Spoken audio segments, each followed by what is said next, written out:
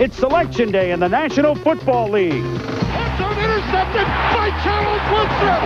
Charles Woodson took it away. And there he goes. Down the sideline. He's got to go. Polish off the Heisman. It's D-Day for the deal makers as they look to rein in football's best playmakers. Oh! Sack by Wadsworth! Court drop. Now what? Out of the pocket. Sack. He's sacked. Oh, he sacked by Wadsworth. For 18 years, we've zeroed in on the very first pick. Who'll it be in our 19th year? We know it's a quarterback. Back to pass goes deep. Here's the rush. He throws through the end zone. Touchdown! Touchdown! That is the most unbelievable touchdown play in a college football game. Manning back to throw. Looking pass down and out is touchdown. They got it. He scored. Peyton Manning. Give him six. The NFL is full of stars, but there's always room for more in the galaxy. It's blast-off time for the class of 1998. New York City, the Big Apple. Madison Square Garden, the site of so many major big-time sporting events, and inside at the theater. They're ready. And some of the best players, we'll hear from them very early. Peyton Manning. Will he go first to the Colts? Or will it be Ryan Leaf that goes first to the Colts and or second to the Chargers? Charles Woodson, the Heisman Trophy winner. We'll hear from him very early. And the running back that everybody covets, Penn State's Curtis Enis. It's the 63rd annual selection meeting of the National Football League. I look forward every year to just saying that. Hi, everybody. I'm Chris Berman, and welcome inside here to the theater, along with my usual compatriots Mel Kiper and Joe Theismann. We have Tom Jackson up on the demo uh, set. We're everywhere. Chris Fowler and our college gang up in Connecticut. We are all over the country. And to steal from Chuck Berry's sweet little 16, we're really rocking in Boston and Miami FLA. We're up the coast in Jacksonville and Cincinnati IA. All right, I'll stop now, which is too good to pass up. The first pick in Indianapolis, a later pick in Green Bay. We're live in the heart of Texas and out in the desert in Arizona. And with the most intriguing player early on in West Virginia with Marshall's wide receiver Randy Moss. We'll video teleconference into the Jets and Giants and Baltimore and Carolina and Tampa Bay and New Orleans and Kansas City and St. Louis in the Windy City in Minnesota, the champion Broncos in San Francisco. Frankly, we're going to run up a hell of a phone bill. Radio, wall to wall, ESPN Radio, noon to 6, ESPN.com, and that's not it. And welcome back to New York. We are eagerly anticipating the start of what may go down in history when we look back 10 years from now as the high watermark draft of the entire decade of the 90s. The Indianapolis Colts have been, hmm, which quarterback do they go with? Peyton Manning, Ryan Leaf. Our Mark Malone is out in Indianapolis. Let's get the last word before it's official. Mark? Well, the last word is that Bill Polian and Jim Mora, this organization, Boomer, they're not making it public in terms of who they've decided on. They spent uh, many hours last night, very late, trying to separate these two quarterbacks. Bill Polian had told me that uh, earlier in the day, they had them about a tenth of a point apart. They were very, very close. They spent most of the night separating those two. And I had probably one of the most interesting philosophical discussions about quarterbacks with Polian that I've had in a long time. For about an hour last night, we discussed the pros and cons of these two guys. First of all, Polian says that he's not enamored necessarily with big, strong guys, although both of these quarterbacks are six foot five. Peyton Manning, it seems to me, is the guy that has the most experience, and that ultimately is going to be, I think, the difference in this draft. He played the extra year, certainly as he came back, 6'5", 230. He's got more game time experience. He prepares well. Again, the nickname the caveman that he's been tagged with by his teammates because he watches so much film. And when you look at all the intangibles that Bill Polian really researches and looks at in a quarterback, especially with the track record this franchise has had over the last decade or two in terms of quarterbacks, they need to make the right choice. He's not saying Boomer, but I can tell you this. In my gut, if I was playing poker with him, I think it's going to be Peyton Manning. I think if we had to go out on a limb, that would be our guess. But you know mm. what? They earned this four months of keeping everybody in suspense. Let them keep it for another 15 minutes. Let's go quickly to Mel Kiper and obviously Peyton Manning and Ryan Leaf, who guys are going to talk about at length and hopefully at length for the next 12, 14 years. Let's look at overall value. How would you rank the board specifically on the best players available? I think when you look at it, Chris, Andre Wadsworth could be the next Bruce Smith. Arizona trades down, still gets the best player on my board. Charles Woodson, dynamic, pure cornerback. Then the two quarterbacks, the cerebral quarterback in Manning, the gunslinger in Leaf. Keith Brooking, a versatile kid, can play middle linebacker, can play outside linebacker, and of course Curtis Enis, very, very well-rounded running back, outstanding pass receiver out of the backfield. Then there's a drop-off. After those top four, the grades slip a little bit. Then you pick it up again with Takeo Spikes, an outstanding middle linebacker. A couple players to watch. Kyle Turley, because of his versatility, can play guard or tackle. And Grant Wistrom has definitely moved up into that top 10 because of his very consistent motor. The most intriguing story of the day will be the wide receiver for Marshall, Randy Moss, who I did not see right there. What happens with him? Well, the off-the-field concerns certainly are there. Not on the field. Of course, at Marshall, dominated the Mid-American Conference. Those 44 touchdowns really stick out. He was a man among boys when you talk about how he dominated cornerbacks in the MAC. But those off-the-field concerns, and really as a wide receiver, he still has to develop his skills, getting off press coverage, route running. But for Pro Bowl talent, he may be a man among boys, as you say. Well, we're about ready to tee it off. And on the first tee, Commissioner Paul Tagliabue. Good afternoon. Good afternoon. Thank you for being here. Welcome to the National Football League's 1998 player draft. We'll start with the Indianapolis Colts having the first selection.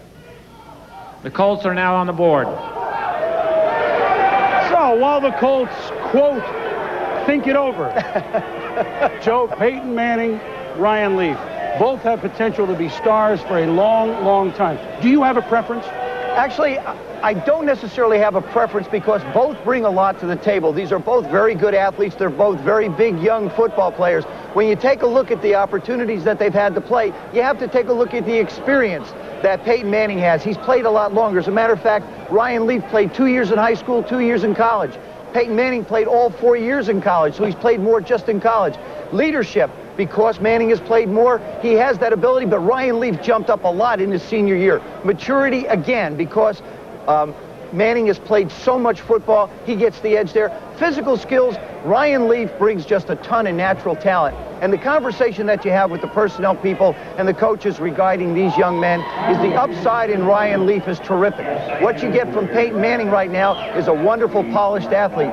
Both of them bring a lot of assets to this table. I think both will fit very well with the teams that they wind up with. Well, each owner brought jerseys of both. And by the way, whoever team it, that they don't go to, let's say, let's just say the Colts pick Peyton Manning. Wonder how much that Ryan Leaf Colts jersey would be worth at a charity auction. In 1983, John Elway was drafted first by the Baltimore Colts. Do you remember? Baltimore selects as the first choice in the draft quarterback John Elway of Stanford. As I stand here right now playing baseball, I said I don't want to be a, a, a jerk or anything about it. As that uh, we've been telling you for three months that I'm not going to play in Baltimore, and I know for a fact you've been offered three ones and a quarterback, and you turned that down. And at this, and right now you have nothing. Of course, John Elway never took a snap for the Baltimore, then Indianapolis Colts, quarterback for the Denver Broncos, and of course, will be receiving his Super Bowl ring before opening day. The Broncos, John Elway, of quarterbacks who have started six games or more since 1983. He's the only one. What have the Colts done since then? Jeff George, Jim Harbaugh, Pierre Trudeau, Mike Onion, Pagel, Chris Chandler, Gary Hogeboom, Paul Justin, a smattering of who they've had. 20 years ago, they drafted Burt Jones in the first round, and he worked out. But Elway never became a Colt. Art Schleister was a first-round pick. They have a chance to undo a lot of negative history in the quarterback. I don't mean that Jim Harbaugh or Jeff George weren't good players, but maybe not to the degree of Peyton Manning, who brings special talent, starting with his release. Almost releases the ball too quick, doesn't he, Mel? I'll tell you, when you look at Peyton Manning, his size, he's over 6'5". You look at that 230-pound frame, really an extension of your offensive coordinator. Statistics prove them uh, out what I'm talking about in terms of his accuracy. I mean, he is on target with virtually every pass. I think very underrated arm strength. But really what sets Peyton Manning apart is this ability you see here. Check off, read defenses, and show poise under pressure and the touch on the football. He's a really a pitcher. He's not a thrower. He's really rounded off his game as a passer. And I'll tell you, the arm strength, watch him here. You know, stick it between a defender, get it in the end zone. And when you see accuracy, I think that's what I'm talking about here. On the money, he knows how to get it between defenders. And watch this. This is the improvisational skills of a guy who can think on his feet, keep his poise, make something out of nothing. And that's what Peyton Manning does on a very consistent basis. And as I said before, what I like about Peyton is he can elude the initial defender, and he has that ability to loft the ball, Joe. And that's an quality that only the great quarterbacks really possess. You know how big this draft is. It's not very often that we see the owners of the first two teams. That's right. Jimmy Irsay is going to bring the card up for the Colts here in a few seconds. Alex and Dean Spanos are here, the ownership of the Chargers, to bring their card up with the second pick. And as we speak, Jim on cue. Very exciting moment for him and the entire Colts franchise. And the question now becomes, will the RCA Dome, a.k.a. the Big Horseshoe, will that become Peyton's place?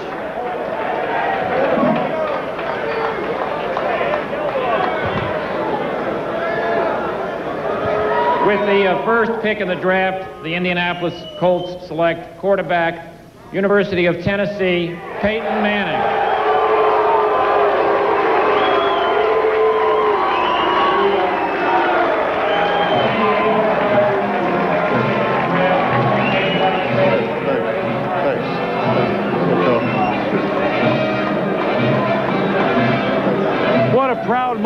Peyton, his family, his saw his brothers, mom and dad, and of course Archie Manning, who excelled with a very poor team for years and years in the New Orleans Saints.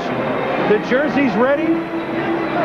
And here he is, the new quarterback of the Indianapolis Colts, Peyton Manning. And I guess we must do this. Golf fans know this cheer. In Indianapolis, you can now yell, Peyton, you Manning!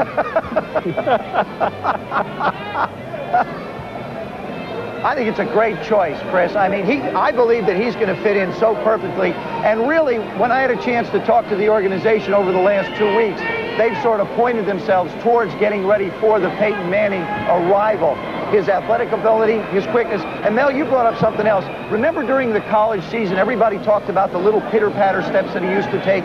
When you watched him in workouts, they were gone. He's very conscious of what needs to be done to correct his skills to make himself play at the next level. He's coachable, he's teachable, he's very smart in his approach to the game of football. You're really getting the perfect student as well as a fine, fine young man. I know, Joe, but just a note of caution. I think we tend to expect too much from young quarterbacks in the National Football League. They're force-fed, they're scrutinized really as rookies. I think it's unfair. I think he needs to be brought along slowly. Sure, he'll be the starting quarterback on opening day more than likely, but still, you have to go through those growing pains. It's not the SEC any longer. I think too often, Joe, quarterbacks that first, second year are talked about as busts or booms. I think it's far premature. I don't think it is in the case of Peyton Manning. See, I get to disagree with you in the first 15 minutes of the show, which is a rarity.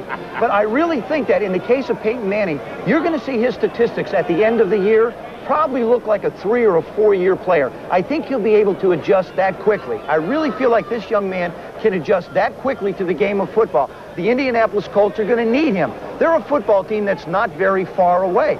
Offensively, they're in pretty good shape. Tom Moore takes over as the coordinator. Rusty Tillman takes over as the defensive coordinator for Indianapolis. Rusty will run an, an aggressive style of defense. They get Jeff Arad back in the middle. They're soaring up that side of the line. Offensively, good tight ends, good running backs. I think there's a lot of people around him to be able to allow him to be successful. And he should start right away. And I think in the Bill Polian, Jim Mora era of the Indianapolis Colts, the key player for Peyton Manning will not necessarily be who he has up front. It's going to be Marshall Faulk. If a big-time running game can go with a nice, young, maturing quarterback, this will be a treat. Yep. Marshall becomes key to how Peyton Manning does, who is now with our Mike Tirico. Michael. Okay, Chris, thank you. Peyton, one of your endearing qualities is that you are such a team guy, and you gave your team the credit all the time at Tennessee. Will you at least take this moment to feel proud of your accomplishment? Well, it's an honor, Mike. There's no question about it. I'm really excited about what's ahead and just uh, proud that the Colts put their faith in me. I'm looking forward to the challenge of uh, getting the program going, and uh, it's a really exciting time right now. Everyone was playing great poker from the Colts side. Were you at all concerned that you weren't going to be their selection? I had a pretty good idea, Mike, uh, but uh, I can keep a secret too. There's no question about that. But like I said, really excited. I'm going to Indianapolis today and looking forward to visiting Mr. Polian and Coach Moore. And I'm just, I'm excited to go to work. I'm ready to get started right now. Quickly, how keep it? How long have you been keeping that secret? Can't tell you that either, Mike. we'll talk to you later. Okay, Peyton Manning, the Colts' number one pick. He will wear his dad's old number, number 18. He couldn't have it at Tennessee, Chris. All right, Mike, and congratulations, Peyton. He can keep a secret. So can the general manager of the Colts, Bill Polian, who's with our Mark Malone. Let's go out to Indianapolis right now. Mark. Well, Chris, we said that, or I said at least this morning, I wouldn't want to play poker with Bill Polian. And he has kept a secret so well coming up to this draft. You and I spoke at, at length last night. You still didn't really indicate to me where you'd go. Tell me in your heart of hearts, did it take you until late last night to really come down to this decision, Bill? No, not really. Uh, I, I, think sometime around midday uh, yesterday, uh, Jim Moore and I sat down and uh, and we said, you know, what's in our hearts? We've uh, we've uh, done all the research, we've done all the measurements that you can do, and in the end, it comes down to making a, a, a, very tough pick. These are two very very fine football players. And uh, we just felt that Peyton, because of his experience and his maturity level in the game of football, not personal maturity, but in the game of football, fit best for us in this particular situation. I'm confident that Ryan Leaf is going to go on and have an outstanding career, and uh, I wouldn't bet against him playing in the AFC Championship game in the not too distant future. Speaking of his maturity and his experience level, does that mean that this kid comes in and starts right away? He's at the top of your, your depth chart? Well, we're going to start him out there, and, and, and we'll see where it goes. We'd like, it, we're going to throw him in, whether it's game one or game four. I, I, think is immaterial, but he's going to learn on the job, that's for sure. Well, Bill Polian has certainly put his brand on this particular franchise with a number one overall pick, Peyton Manning of the Tennessee Volunteers. Now, let's take it back to Boomer in New York. All right, Mark, thank you. So Peyton becomes now the ninth quarterback to be drafted number one overall since 1970. Drew Bledsoe, the Patriots, 93. Jeff George, Indy, 1990. fellow named Troy Aikman, who won three Super Bowls for Dallas in 89. Vinny Testaverde, the Bucks in 87. John Elway, 83, Baltimore, but of course never took a snap there. Steve Bartkowski, a very good quarterback, 75 Atlanta. 71, Jim Plunkett by Boston, won two Super Bowls with Oakland, and a fellow named Terry Bradshaw, 1970 with Pittsburgh, who won four Super Bowls. So it's pretty good pedigree. Peyton fits right in. Why is San Diego on the clock? They moved up from the three overall spot to the two spot, which was owned by Arizona, and they paid quite a price. They shifted first round picks. It cost them a second this year. Eric Metcalf, linebacker Patrick Sapp, and Bobby Beathard surrendered the first round pick in 1999. But they felt they just had to make the move. The one position we just couldn't afford to wait any longer was a quarterback position. I think our, it was unique to us, you know, that uh, right now, in the position we're at, we needed to address the quarterback position if we had the opportunity to do so. And it was there, as expensive as it was, it was there for us to, to, to have that chance, so we, we took advantage of it. The amazing thing in this draft is that we were in third position, and I don't know when again you're going to find the two teams in front of you where one team doesn't need a quarterback. If we're ever going to be there and you know get to the position where we want to be in the league, uh, you can't do it without one of those guys. And if we're right in our evaluation that either one of these guys can take you there, then um, I think it was a deal we had to make.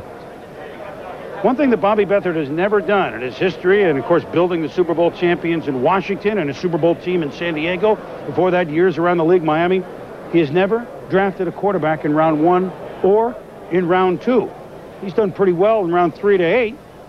And back when they had drafts up to round 17, he drafted. And there's one of our favorites in the league, Sid Brooks, longtime equipment man, gentleman extraordinaire for the Chargers. And he, he doesn't know what to do right now. Who do, who do we pick? He's what also possibly could we pick? Gee, maybe it's the guy on the camera right now. I Ryan, gee, I, I, guess it would be, maybe we'll go out on a big tree here. Ryan Leaf, I think, is obviously a natural fit. I felt like each of these guys would be a natural fit for their football teams. The thing about Ryan Leaf is he brings a, a swagger to the game. There's an upside to Ryan Leaf that nobody's quite sure of because he hasn't played as much football as Ryan Leaf. He's got tremendous feet for a big man. He can back out, look left, turn and throw right, as well as any smaller quarterback I've watched film. And looking at a lot of it, I can tell you, he gets rid of the ball quickly. He moves very well for a big man, throws extremely well on the run. The only question you have is how long is it going to take for him to be able to be comfortable at this level. If you're going to compare him to one football player that's come out in recent years, he definitely would have to be compared to a Drew Bledsoe because he's that type of an athlete. Well, he, he moves a lot better than people would think. Oh, yeah. Someone at, at 6'5 and a half, 245, and it led the team to the Rose Bowl and a bomber in the Air Coryell Dan Fouts mold. He's in a good stadium, isn't he, with a little bit of history? Let's go to the commissioner.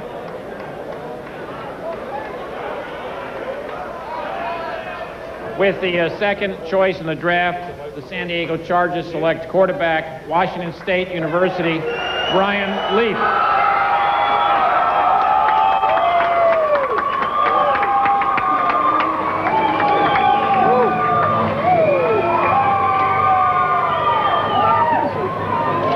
So the guy? The hugs from the Leaf Brigade, or I guess we should call it a forest. Why not? Because there's lightning bolts here adorning the theater in New York. Ryan Leaf from behind stage to front and center.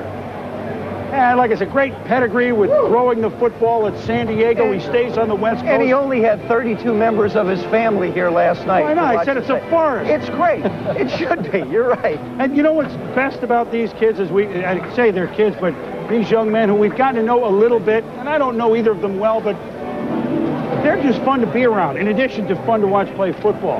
They are, and in sitting with them last night, having a chance to visit with them, both of them have made this simple statement. They're ready to get it started now. They're ready to get it going. They want to get on to the next level of their life, and, and now the moment has come. Is the ceiling higher in your mind for Ryan Leaf, Mel, than it is for Peyton Manning? As, as Alex Spanos, the owner of the Chargers, he brought two jerseys too. He could file that Manning jersey and sell that at a charity auction.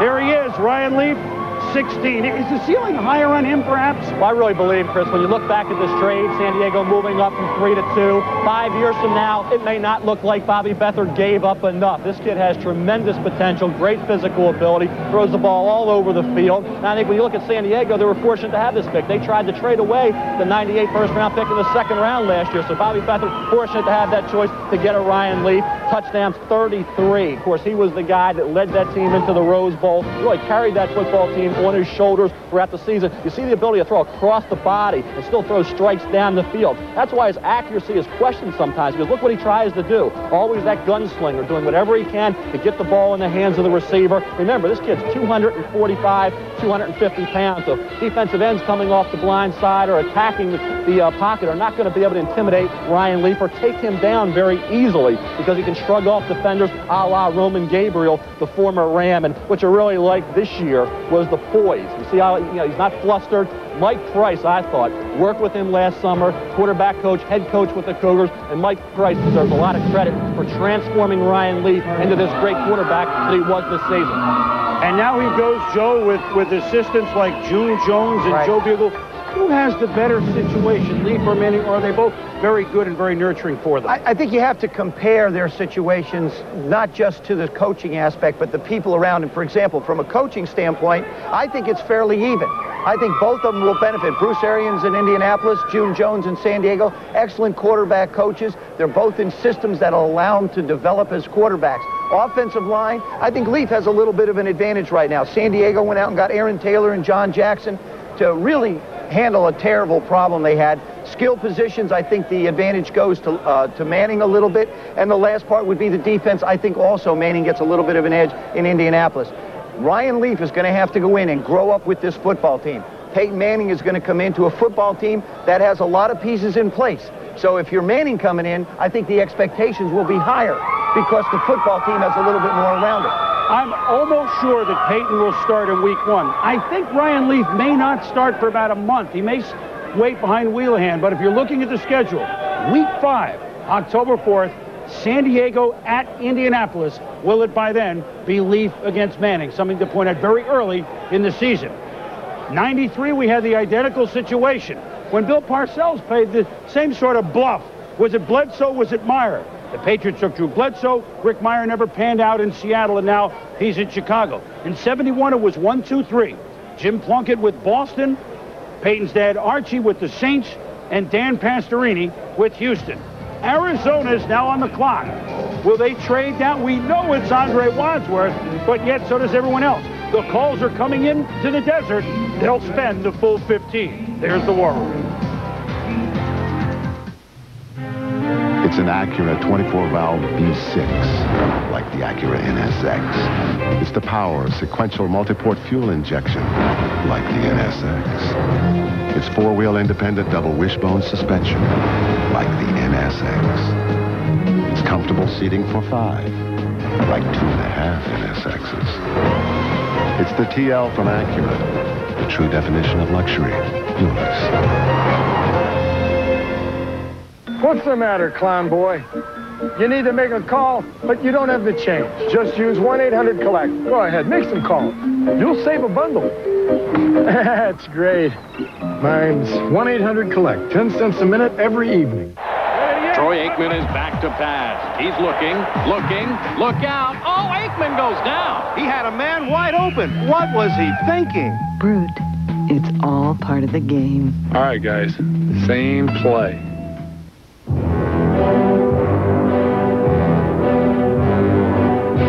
It has the power to excite you. It has the power to move you. It has the power to take you places you never knew existed. It is, of course, your Visa card with the power to get you a seat to Michael Tilson Thomas and the San Francisco Symphony at Davies Symphony Hall. So bring your Visa card because you can't get in using American Express. Visa, it's everywhere you want to be. One word? Dominating. Dominating. Speed. Quick. Bruce Smith. Intensity. Relentless. Devastating. Performer. Wow. Dion. Exciting. Exciting. Athletic. Playmaker. Skill. Flashy. Smooth. Athlete. Scary. We've had the quarterback time. We may not have another quarterback drafted today in the first three rounds. May not. But now it's the time for Andre Wadsworth and Charles Woodson, two tremendous players who may make this draft, along with two, quarterbacks, one that we shall never forget for those of us that love and follow pro football. Mike Golick is out in the desert. Let's check in with him right now. Mike? Thanks, Boomer. Well, Andre Wadsworth is their man if a deal isn't put in front of him. As we're speaking, uh, Vice President of Player Personnel Bob Ferguson has been on the phone in the war room talking to some of the teams or, or getting involved in some conversation. Uh, but if no deal is done, Andre Wadsworth will be the man. Let's send it back to you, Chris. I think, guys, thanks, Michael. I, I think that when you heard Bill Polian, who ought to know a little bit about Bruce Smith, say, well, how would you describe Andre Wadsworth? Bruce Smith. We have not had Mel and Joe, a lineman, a pass rusher ranked this high since Bruce Smith and Ray Childress came out in 1985. That speaks volumes. The pick is up to the commissioner, so Arizona obviously has held all calls. With the uh, third pick in the draft, the Arizona Cardinals select defensive end from Florida State University, Andre Wadsworth.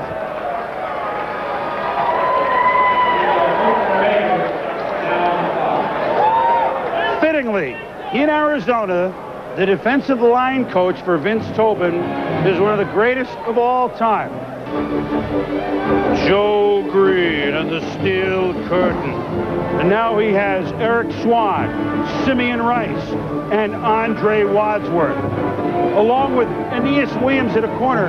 Folks, I know this Cardinal team was 4 and 12, but you put those three guys on the front line with one of the best corner cover guys in football.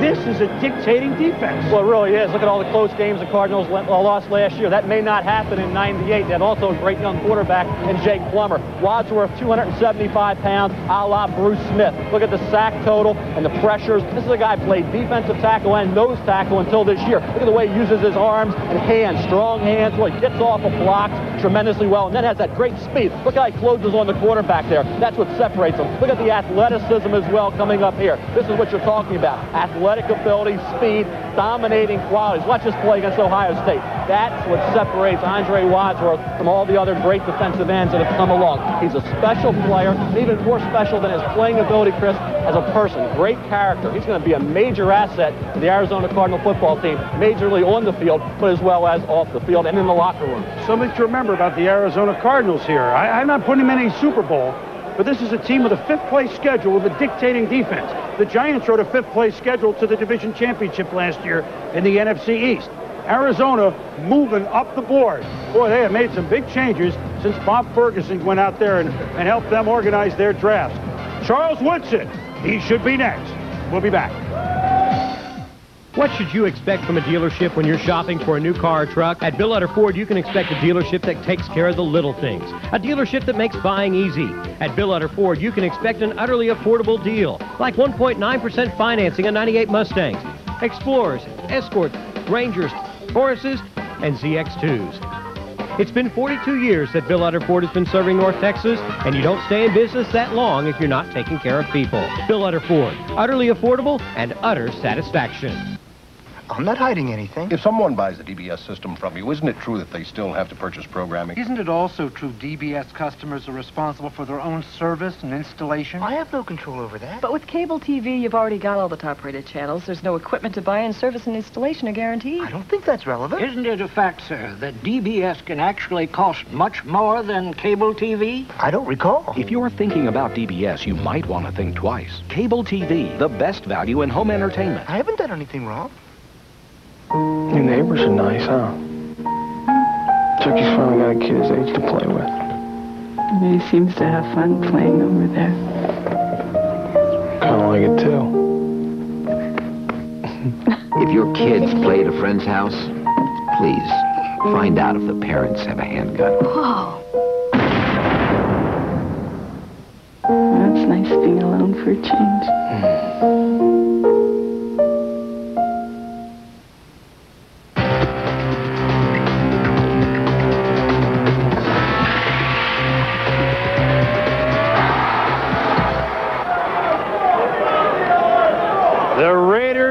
on the clock and dressed as only Raider fans can in New York. They're ready to see if another Heisman Trophy winner goes to the Raiders, uh, Charles Woodson.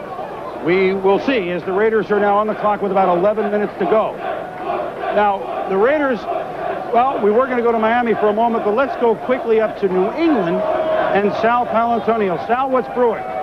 Boomer, I just heard from uh, team owner Bob Kraft, who said that all week long the Raiders have been trying to get the Patriots to move up to that fourth spot to take Charles Woodson. The Patriots love Charles Woodson. They would love to have him at cornerback. They think they'd be set for 10 to 12 years in their division. It would really give the rest of the teams a bunch of headaches in their pass defense, which wasn't so good last year. But the Patriots say that the price is way too steep. What I hear is they're asking for is both number one picks, the 18 and the 22, as well as a second or maybe two seconds to go up to the fourth spot. Mort? Well, Sal, it looks like the Raiders are going to have a, quite a parlay, or at least they're attempting quite a parlay. Obviously, they will take Charles Woodson with the number four pick if there's no trade, but they are also trying to get into the top 10 at the number seven spot with the New Orleans Saints, trying to get Randy Moss, the Marshall wide receiver. Uh, the holdup here is that the Saints, with this deal, along with a couple of second round picks, the Saints are demanding next year's first round pick from the Raiders, and right now the Raiders aren't giving. Chris? All right, guys, thank you. Always interesting when the Raiders are on the clock with it. We understand the pick is coming right in. They, they, they got to go with Woodson. I mean, now all of a sudden, corner, which was such a strange position for them for years and years and years, back from the days of Willie Brown et al., all of a sudden, the guys that they've had, they've been fine players, but are very long in the tooth. Let's go up to the podium and Commissioner Paul Tagliabue.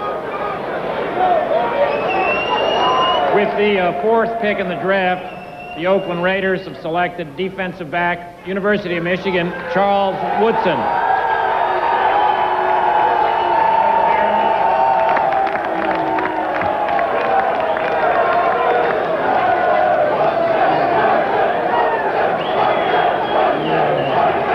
Know, it's it's the only pick that I think the Raiders could have made. Even though the trade for Eric Allen has gone through, Eric Allen has now decided that he will report to the Raiders at the quarterback position. You still have Albert Lewis, Larry Brown, and Terry McDaniel. Uh, Larry Brown probably will be gone in a short period of time. Albert Lewis and Terry McGaines have been there, I think, since the turn of the century. So, I mean, that's a position that was certainly a need position. Even though Jon Gruden, an offensive guru, comes in as head coach, you still stop people from scoring. That's the best way to win. I think it's a great addition. Well, ranked 30th overall in defense, 30 in pass defense. I mean, I, I think we know what's happened. And again, they have collected yet another Heisman Trophy winner. Desmond Howard now plays for him. Bo Jackson did. Marcus Allen, of course, excelled for him. Led him to a Super Bowl win over, oh, I forgot, Joe, Thanks, that was. Jim Plunkett led them, oh, I forgot, Joe. Tim Brown, a Heisman Trophy winner. And, of course, way back when, Billy Cannon, a Heisman Trophy winner who played for the Raiders in the glory days in the 60s. And by the way, what's interesting in the stands, Jet fans and Raider fans are nearby, and they're taunting each other.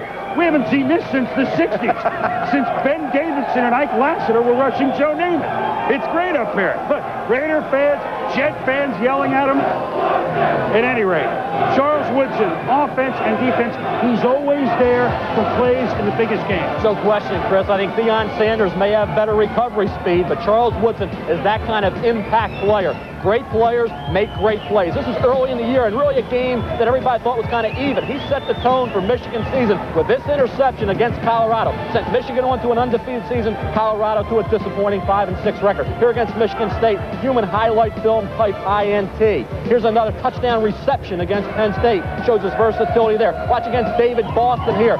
Physical style. He won't back down. He'll get up there in the face of the wide receiver in press coverage, never back off. And here's the difference maker when you talk about great plays. Ohio State key game, punt return, 78 yards for a touchdown. This is what I'm talking about, Chris. Consistently, even with the pressure on, we were talking Heisman Trophy here against Ohio State. Interception against B. Miller in the end zone. Every spotlight game, Rose Bowl against Ryan Leaf in the end zone, preventing a touchdown. Goes up and makes the uh, interception against Kevin McKenzie. You just can't minimize that type of ability with the spotlight on Charles Woodson. Really, Chris, from late September on, he was talked up as a Heisman candidate. He came through big time in the clutch. Well, he's a primarily a defensive player who is always around the ball. We got one of those ourselves. 14-year linebacker with the Denver Broncos, Tom Jackson, who's uh, who's with us here in New York. And Tommy, we're going to talk a little bit about Andre Wadsworth, a player who all defensive players drool over when you think about watching him. Welcome to New York, and how come you don't have to wear a tie? What do you got connections? Well, Andre Wadsworth was certainly, I think, the best player in this draft via certainly need uh, as being an aspect. The next best player in this draft, I think, was Charles Woodson. What you get in Wadsworth is you get a ball player who is polished coming out of college, possibly and potentially better than Peter Boulware. Great technique artist, fast off the corner, has great leverage with his body. Charles Woodson is a playmaker in the mold of a Raider. He is going to be a get-up-in-your-face guy, play six inches off the line of scrimmage, and he certainly might affect the picks of other guys down the line as we look through the AFC West, because when you consider the fact that Shawn Springs, Dale Carter, and now Charles Woodson are all in the AFC West, you're going to have to have receivers to counter that. So certainly I think we've looked at, in the last two picks, Wadsworth and Woodson, the best two players in this draft. I'll be loving to watch them the next 10, 12 years. Well, they're all excited in Arizona, Tommy. Let's head out to the desert and rejoin Mike Golic. Mike? Thanks, Boomer. Well, the Cardinals got their man in Andre Wadsworth. And Vince, first, all trade uh, aside, is Andre Wadsworth the man you would have taken regardless, or was there another player possibly? There really was, and we had decided uh, quite some time ago that Andre Wadsworth was our man, and uh, we were just waiting to see if there's a blockbuster thing that uh, we couldn't afford to pass up. But it, the closer it got to the thing, no matter what they'd offered, we were going to take Andre because you, you draft the complete package, and we feel like Andre is a complete package. Now, I know the phone was ringing yesterday, and this morning I saw uh, Bob Ferguson on uh, one time. Anything that really came about that made you hesitate at all? Well, we've had some offers and, and some very legitimate offers, but as I said, uh, uh, it kind of you know called our, our hand type of thing because we decided that uh, Wadsworth the guy we wanted, and no matter really what was offered, boy, we were going to stick with him because we feel like that uh, that he's the guy that can help us get where we want to get. Now the starting left end for the Arizona Cardinals. Well, you know, I never give anybody anything. You know, you have to earn it on the football field, but uh, I would be awful surprised that if he's not starting somewhere and by the time we start ready to play. The Cardinals get their man, Andre Wadsworth. Many felt the top player in the entire draft, including the two quarterbacks. Chris, back to you. All right, Mike and Vince Oman, I'm telling you folks, watch out for Arizona this year. They're on the move. And now the draft has been going at Mach 12 right down the highway. We are at the point where it starts to make a left-hand turn. Chicago is on the clock. This is the Curtis Enis spot, but he is coveted by St. Louis, by Jacksonville, by maybe New England, by lots of teams. Do the Bears make a trade, or do they keep the pick? Curtis Enis, Dick Vermeil, and Mike Ditka coming up as their teams make their selections, and the saga of Randy Moss really gets started. We'll be back.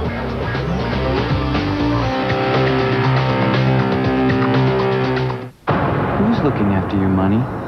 You do have goals to reach. Are mutual funds getting you there? How do they see things? At Janus, they look for opportunities one at a time. Not categories, not trends.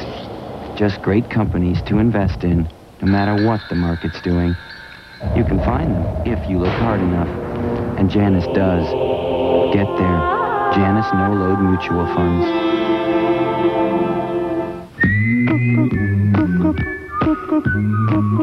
Renting a car is part of your vacation, right? Don't worry. So Alamo thinks it should be part of your fun. Drive happy. That's why every time you rent from Alamo, you get our guarantee of unlimited mileage. And with Alamo's great Drive Happy deals, you've got lots of money left for the fun stuff. Don't worry. Drive happy.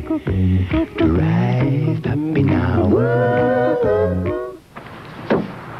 Oh, man.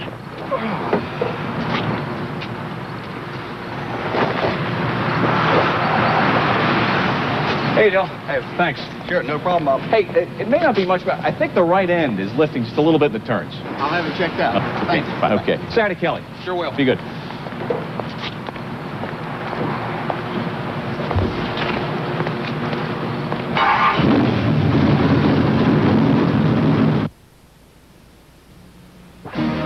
ESPN News presentation of the 1998 NFL Draft is brought to you by Janus No Load Mutual Funds, by Alamo.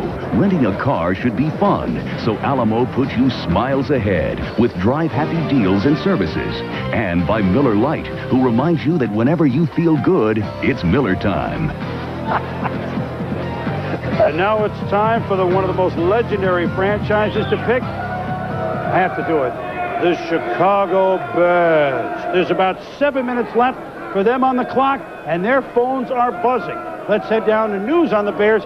Let's go to Miami with Chris Mortensen. Mort, what's brewing? Well, Boomer, you're right. Their phones are ringing off the hook. They are talking with Jacksonville, St. Louis, and New England. And here's the deal. They want two ones. They want both of Jacksonville's ones, which Jacksonville hasn't been willing to give up. They wanted both of New England's ones. If they don't get the deal they want, Mark Hatley, the personnel man, now making the picks for the uh, for the Bears, will take Curtis Enis, the Penn State running back. He really likes Curtis Enis. If he trades down, then they're looking at a linebacker like Takeo Spikes of Auburn or Keith Brooking of Georgia Tech. Chris? All right, Mortimer. Well, the Bears will probably use up all the time because that's one of the few positions. Remember, they just paid money for Edgar Allan Poe Bennett from the Packers. Uh, They have a salon, you know, they, they, they have some players there in a team that badly needs some help. Running backs, we expect maybe four to go in the first round. Is there a big difference on your board between the top backs? I really don't think so, Chris. I think the depth at running back is outstanding. Teams know late first, early second round, you can get some good football players. Fred Taylor has moved up into the middle of the first. Robert Edwards is interesting. There's a durability question, but he's got great ability. Robert Holcomb, very consistent, move the chain style of running back. Skip Hicks improved a great deal as a senior this year, really moved into the early to mid second round area. So there is a lot of quality depth at the running back position, well into, Chris, the second, third, fourth round.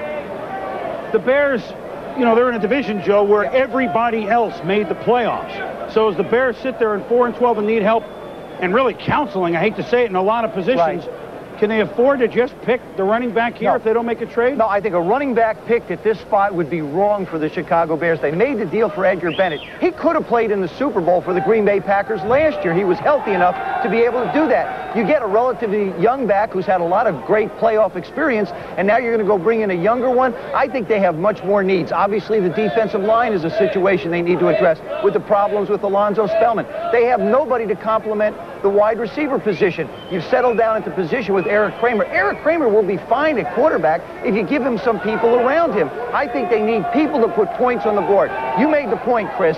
Everybody in that division gets to the playoffs. Yes. You get there by scoring points. Chicago has not done it. They need skilled people in that position. That's where I'd have to say they go. Defensive line and or in the wide receiver area. You know, they haven't had a Pro Bowler since '93, so they need they need Yeah. big time playmakers somewhere. There's about four and a half minutes left on the clock with the Bears. Let's check in with our Chris Myers in Dallas. Chris, what have you heard? Well, moments ago, Chris, I spoke with John Shaw of the Rams, and at that point, uh, the Rams are calling the bluff of the Bears. Of course, the Rams want Curtis Enis, someone Dick Vermeil has talked with personally, and it's a need for the Rams, but they're not willing to trade with Chicago. And if Chicago goes ahead and picks Curtis Enis, then the Rams will go with Grant Wistrom, the defensive lineman, also one of the areas of need for the St. Louis Rams. So at this point, the Rams aren't willing to move. They're going to wait and see what Chicago does. They have Enis and Wistrom rated about the same, with Enis being the priority simply because that's more of a need position. Chris, back to you. See, see, thank you, Chris. One of the things, I mean, St. Louis just wants to come up one spot, but the price that San Diego paid for Arizona makes the Bears think, well, they can get a similar sort of windfall of picks or maybe players, but in this case, it's running back, not quarterback. That may not be the case. We'll be back with the Bears.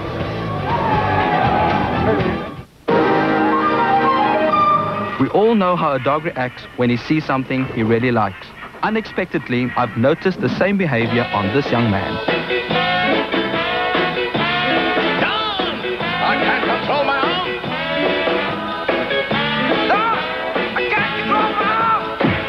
Turn this into something good?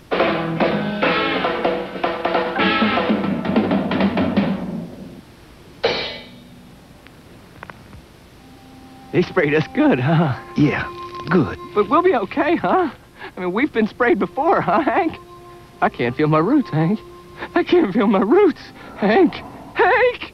Roundup, no mercy, no pity, no weeds.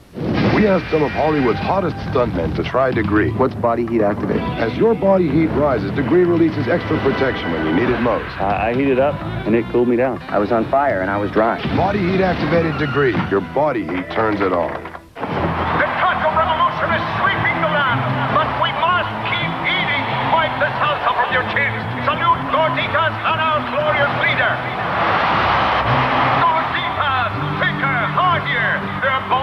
bold salsas and three cheeses are filling the lives of the people for just 99 cents each. Viva Gorditas!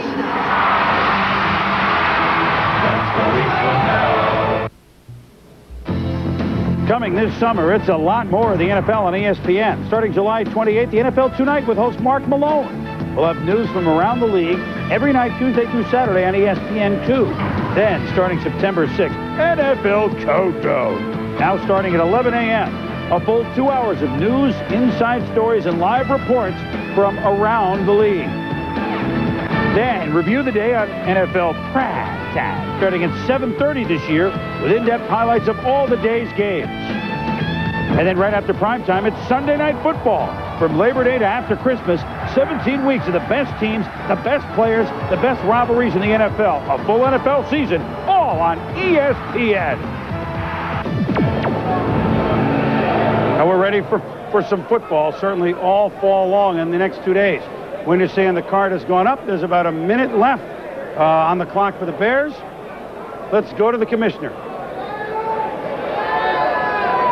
With the uh, fifth pick in the draft, Chicago Bears select running back, Penn State University, Curtis Enis.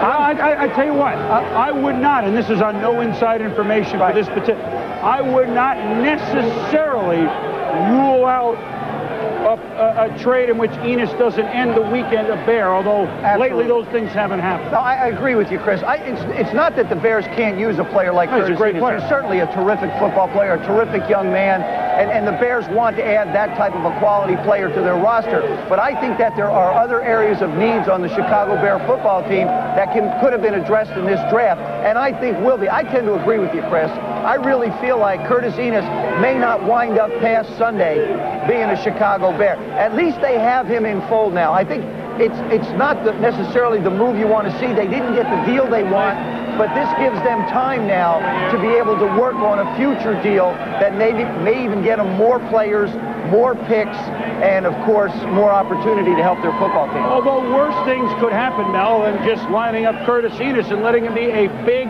bruising back in a cold weather ballpark. Well, you're right, Chris. I think when you look at Ki-Jana Carter and Blair Thomas, everybody says, are you afraid of Penn State backs? Well, Lydell Mitchell, Franco Harris, Curt Warner had great careers coming out of Happy Valley. I look at that size, 240 pounds. You also see some outside speed. Not a lot of creativity or elusive qualities, but we're talking about a 240 plus pounder who has the speed to take it the distance. Look at the inside power. Great tackles between the tackles. You're talking about a guy that certainly can keep the chains moving very effectively. He is a tackle breaker. There's no question about that. And he plays four quarters.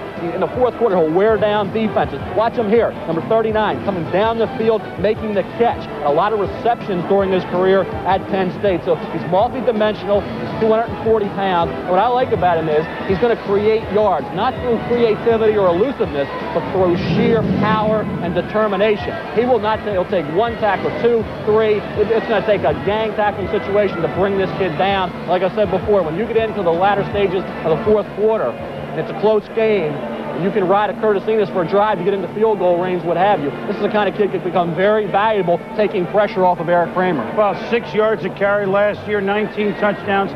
And, you know, one thing you should remember about Curtis Enis, he was originally dra uh, drafted, uh, recruited by Joe Paterno as a linebacker. So there may be some question about Penn State running backs.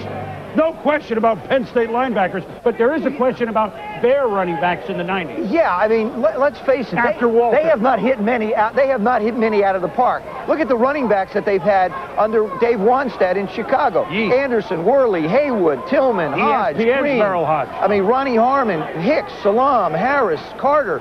Lewis, and the list goes on and on and on.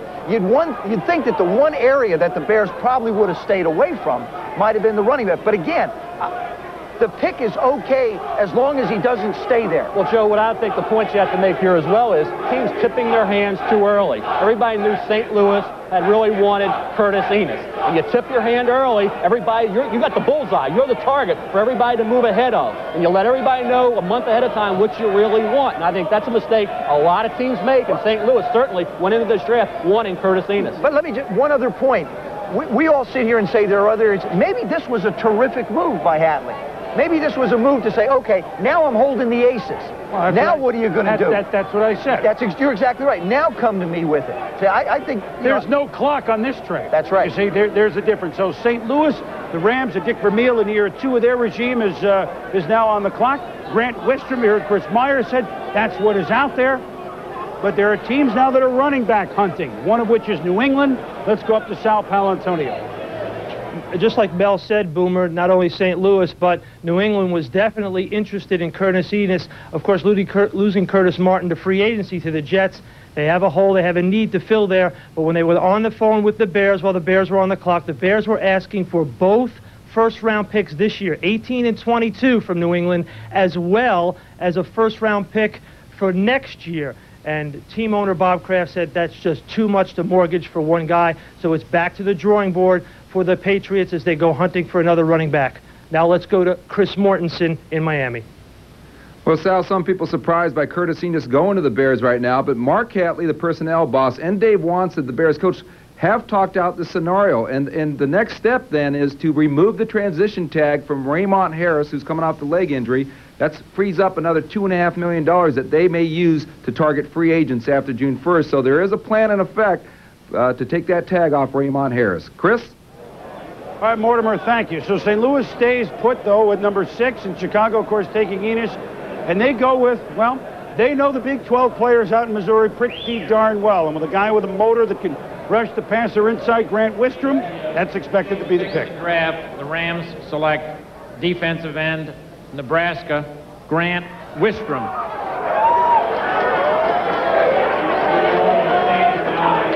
Well, this certainly adds up. And Mel, he is a He's a heck of a player. Ray Childress, kind of a his style a little bit. Very right? consistent, Chris. I think you see 273 there. He could have been 255 and been an outside linebacker in the right scheme, but certainly for the Rams, he will be a defensive end with Kevin Carter on the other side. You talk about the consistent motor. Really, this kid comes hard every play. And when he gets in the backfield, he's trying to not only get a sack, but strip the football. And I think when you look at the intensity, takes you down, he takes you down hard. He's also strong. This is against the University of Washington, against Brock Huard. So looking at a guy very disruptive throughout his career. Of course, Jason Peter on the inside, Wistrom on the outside. He also has a lot of power in his pass rush for somebody who's only between, say, 255 and 270 during the later stages of his college career with the Cornhuskers.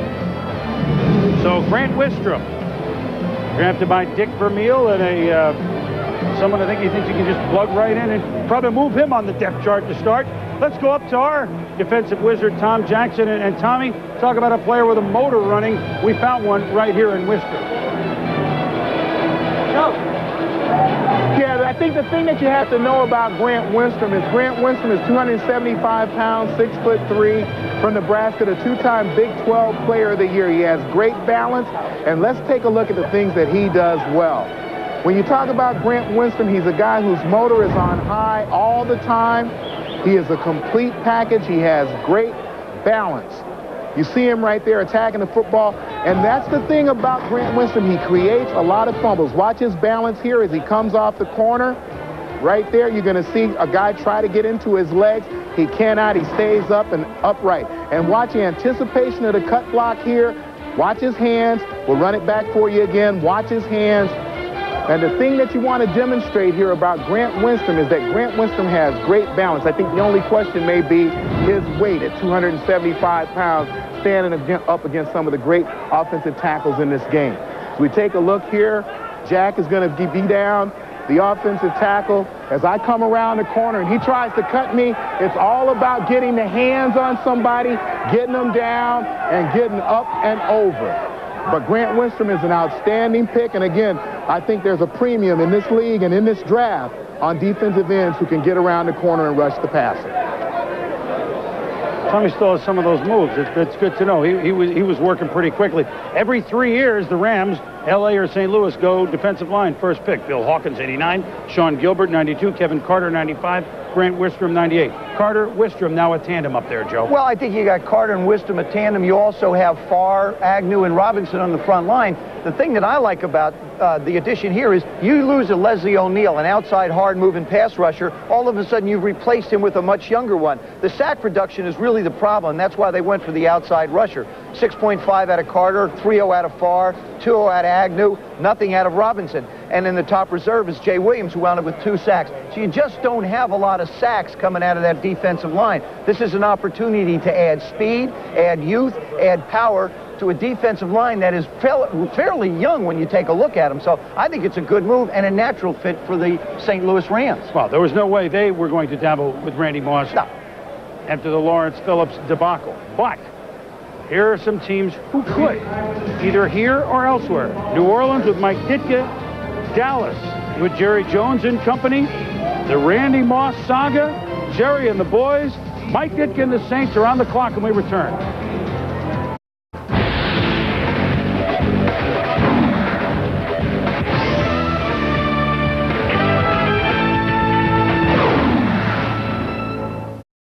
Welcome back to the theater in New York. I just want to get on record right here as saying that when we look back 10 years from now, the best draft in the 90s at the top will probably be this one. This is the most prolific top we think we're projecting since 89, when four of the five picks were pretty much as good as you can get. Troy Aikman, Barry Sanders, Derrick Thomas, Deion Sanders. Not everyone makes it to the Pro Bowl as Tony Mandarich was graded so high and did not. But four of those five are great. We have the two quarterbacks. We have Wadsworth. We got Woodson. We got Enis. Just file that one away. Now, here's a curveball. Chris Mortensen in Miami. Morton, what do you have?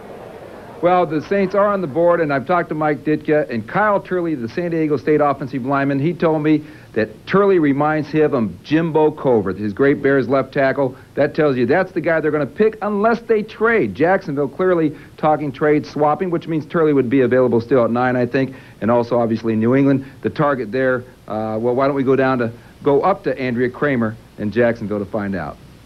That's right, Mort. You got to get your geography right. The Jaguars are talking to the Saints. The player that they do want is running back Fred Taylor. They missed out on Curtis Enis. They were speaking to the Bears. They, uh, the Bears wanted two first-round picks and a starting player. Tom Coughlin did not want to part with that. They would like to get Fred Taylor uh, at the seventh position. If he is gone or if, uh, if they aren't able to get him, if they do stay at the ninth position, look for them to take linebacker Takeo Spikes or defensive tackle Vonnie Holliday. Chris, back to you, New York. All right, Andrea, thank you very much. And Mort will, that's been on the board that New Orleans, if they kept it, would probably go Turley. But now we really begin to watch where Randy Moss may or may not go. Of course, his on-the-field production at Marshall in two years, tremendous.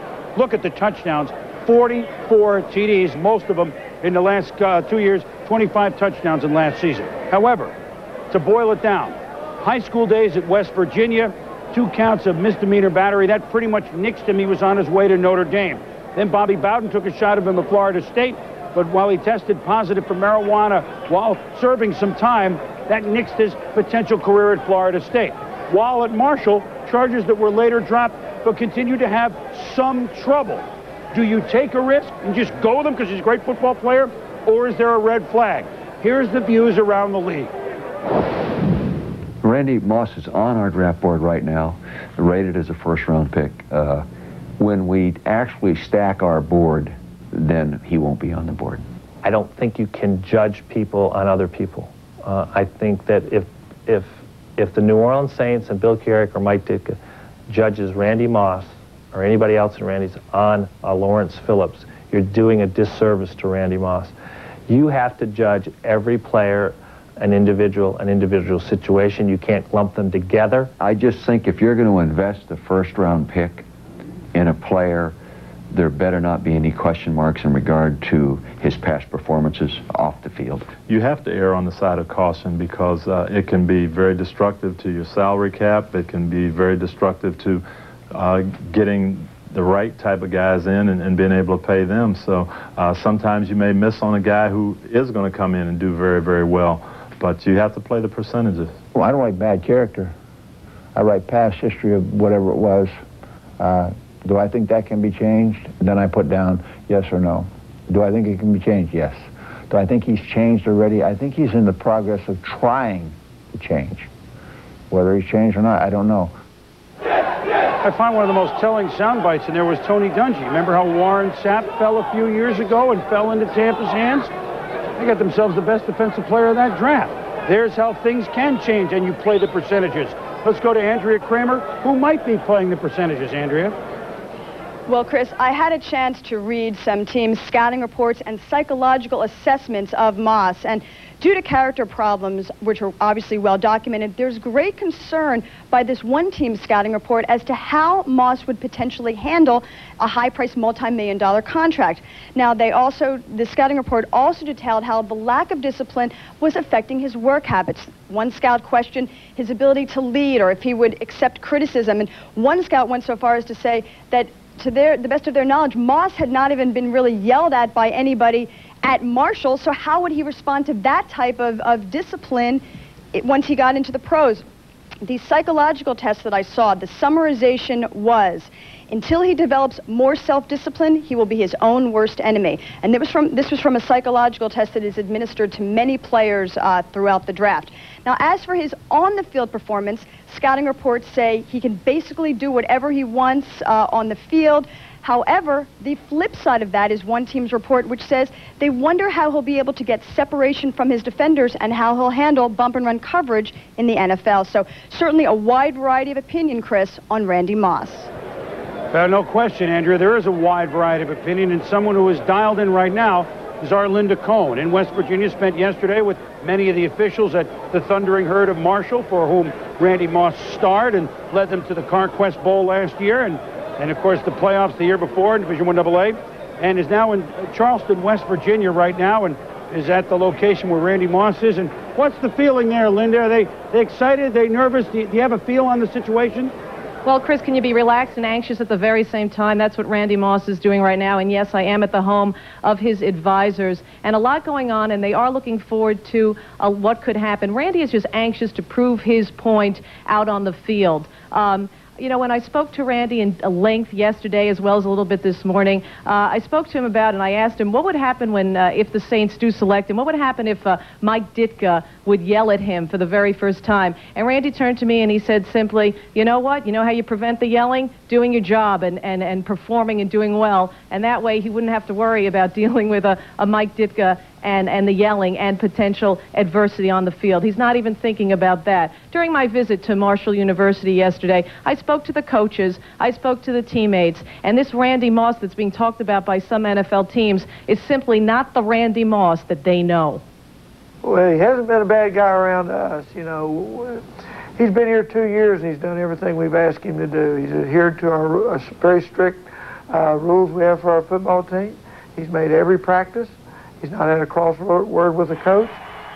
It's amazing to see how much people base on perception, and they make their points of view and their opinions before they even meet a, a person, before they even get to know the person. And when you do that, uh, you can totally get somebody wrong and, and be mistaken. And I think a lot of people are mistaken about Randy. All I can say is I just think his actions just speak for themselves. The team, it's a lot. Like a couple of years ago, the, Michael Jordan get, didn't get picked first, but now everybody regrets it. And I think that's going to be the same thing that happens with Randy. We know Randy can outrun anybody, but can he outrun his past? No, he can't. And, and his past is, is in the past, and I think his future is spotless. Randy has matured a lot. I think they're piling on. I mean, they're just rehashing old things. When Randy faces adversity in the NFL for the very first time, how do you think he's going to react? I think adversity it might slow him down a lot, but it'll never stop him. Just because uh, he, he never lets it stop him. He might get down a little bit, and he came through all the adversity through negative things in the media, but he's still pumping. He's still going as hard as he can. I think he's totally made a 100% change. He's totally turned things around, and he's done great things for us here at Marshall. And whoever picks him in the NFL draft will be very lucky to have him on his team. Whoever gets him, I guarantee you, will be doing somersaults. One more note, a, another psychological evaluation that was given to and made available to the Bears, Dolphins, and Saints by a New Orleans psychiatrist said, in summary, this young man, under the right system, should adjust quickly and respond positively in a most consistent manner. So it's not all negative, at least from the psychological standpoint for Randy Moss. Chris? Hi, Linda. Thank you. We'll check in with you often. Of course, we were watching the, the clips there, and you know, in that Motor City Bowl, I call it CarQuest, but I got the, the autos mixed up. You know, six for 173, six five to run like that now. On field, no question. Well, I think you still need to work at wide receiver, great physical and athletic ability, Chris. But I think teams have to have a philosophy about off-the-field concerns. Either you look at that strongly, or as Bill Kuharich of the Saints said, you analyze each player individually. I really think, looking back a couple years, had Lawrence Phillips gained 1,500 yards, Randy Moss would have been top five pick. Well, the uh, clock has run down on the New Orleans Saints. Let's uh, get their selection.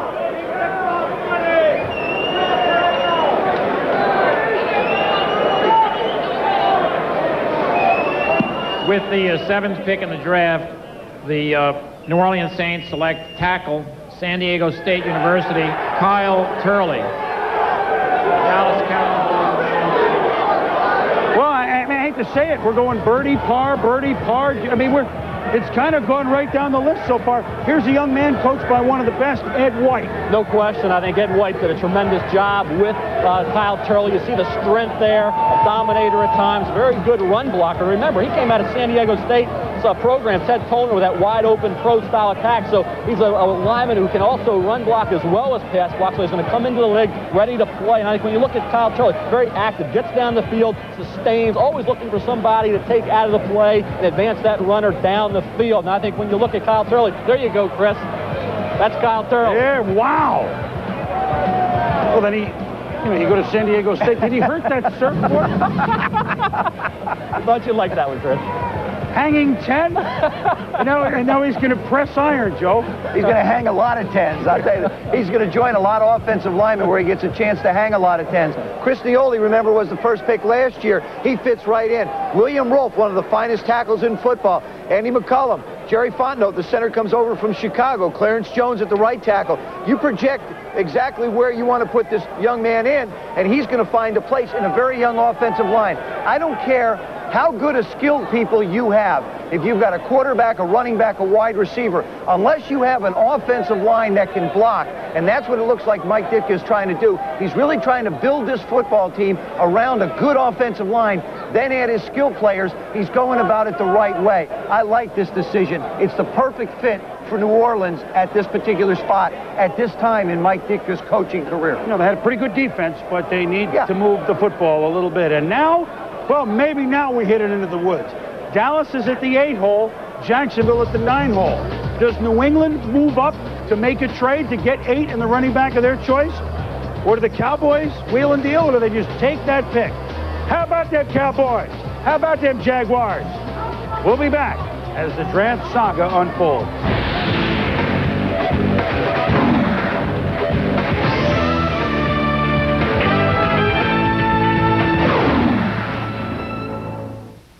Okay, I'll be back on Tuesday. The number's are on the fridge. I color-coded all your meals so you won't be confused. The blue one is a beef dish. B is for beef. The pink one's a pork dish. P is for pork. You get the idea. The green one is for vegetables. It should be violet for vegetables. But I thought you might see violet but think purple and interpret pork, which would defeat the whole purpose of convenient color coding altogether. Four minutes on high, stir halfway. Bye, guys. So what do you guys want for dinner, blue or pink? Did somebody say McDonald's? I hope Mom color-coded breakfast, too. She gave you life. She gave you her laugh. She gave you confidence. She gave and gave and gave. Well, isn't it time you gave your mom a call? MCI 5 cent Sundays.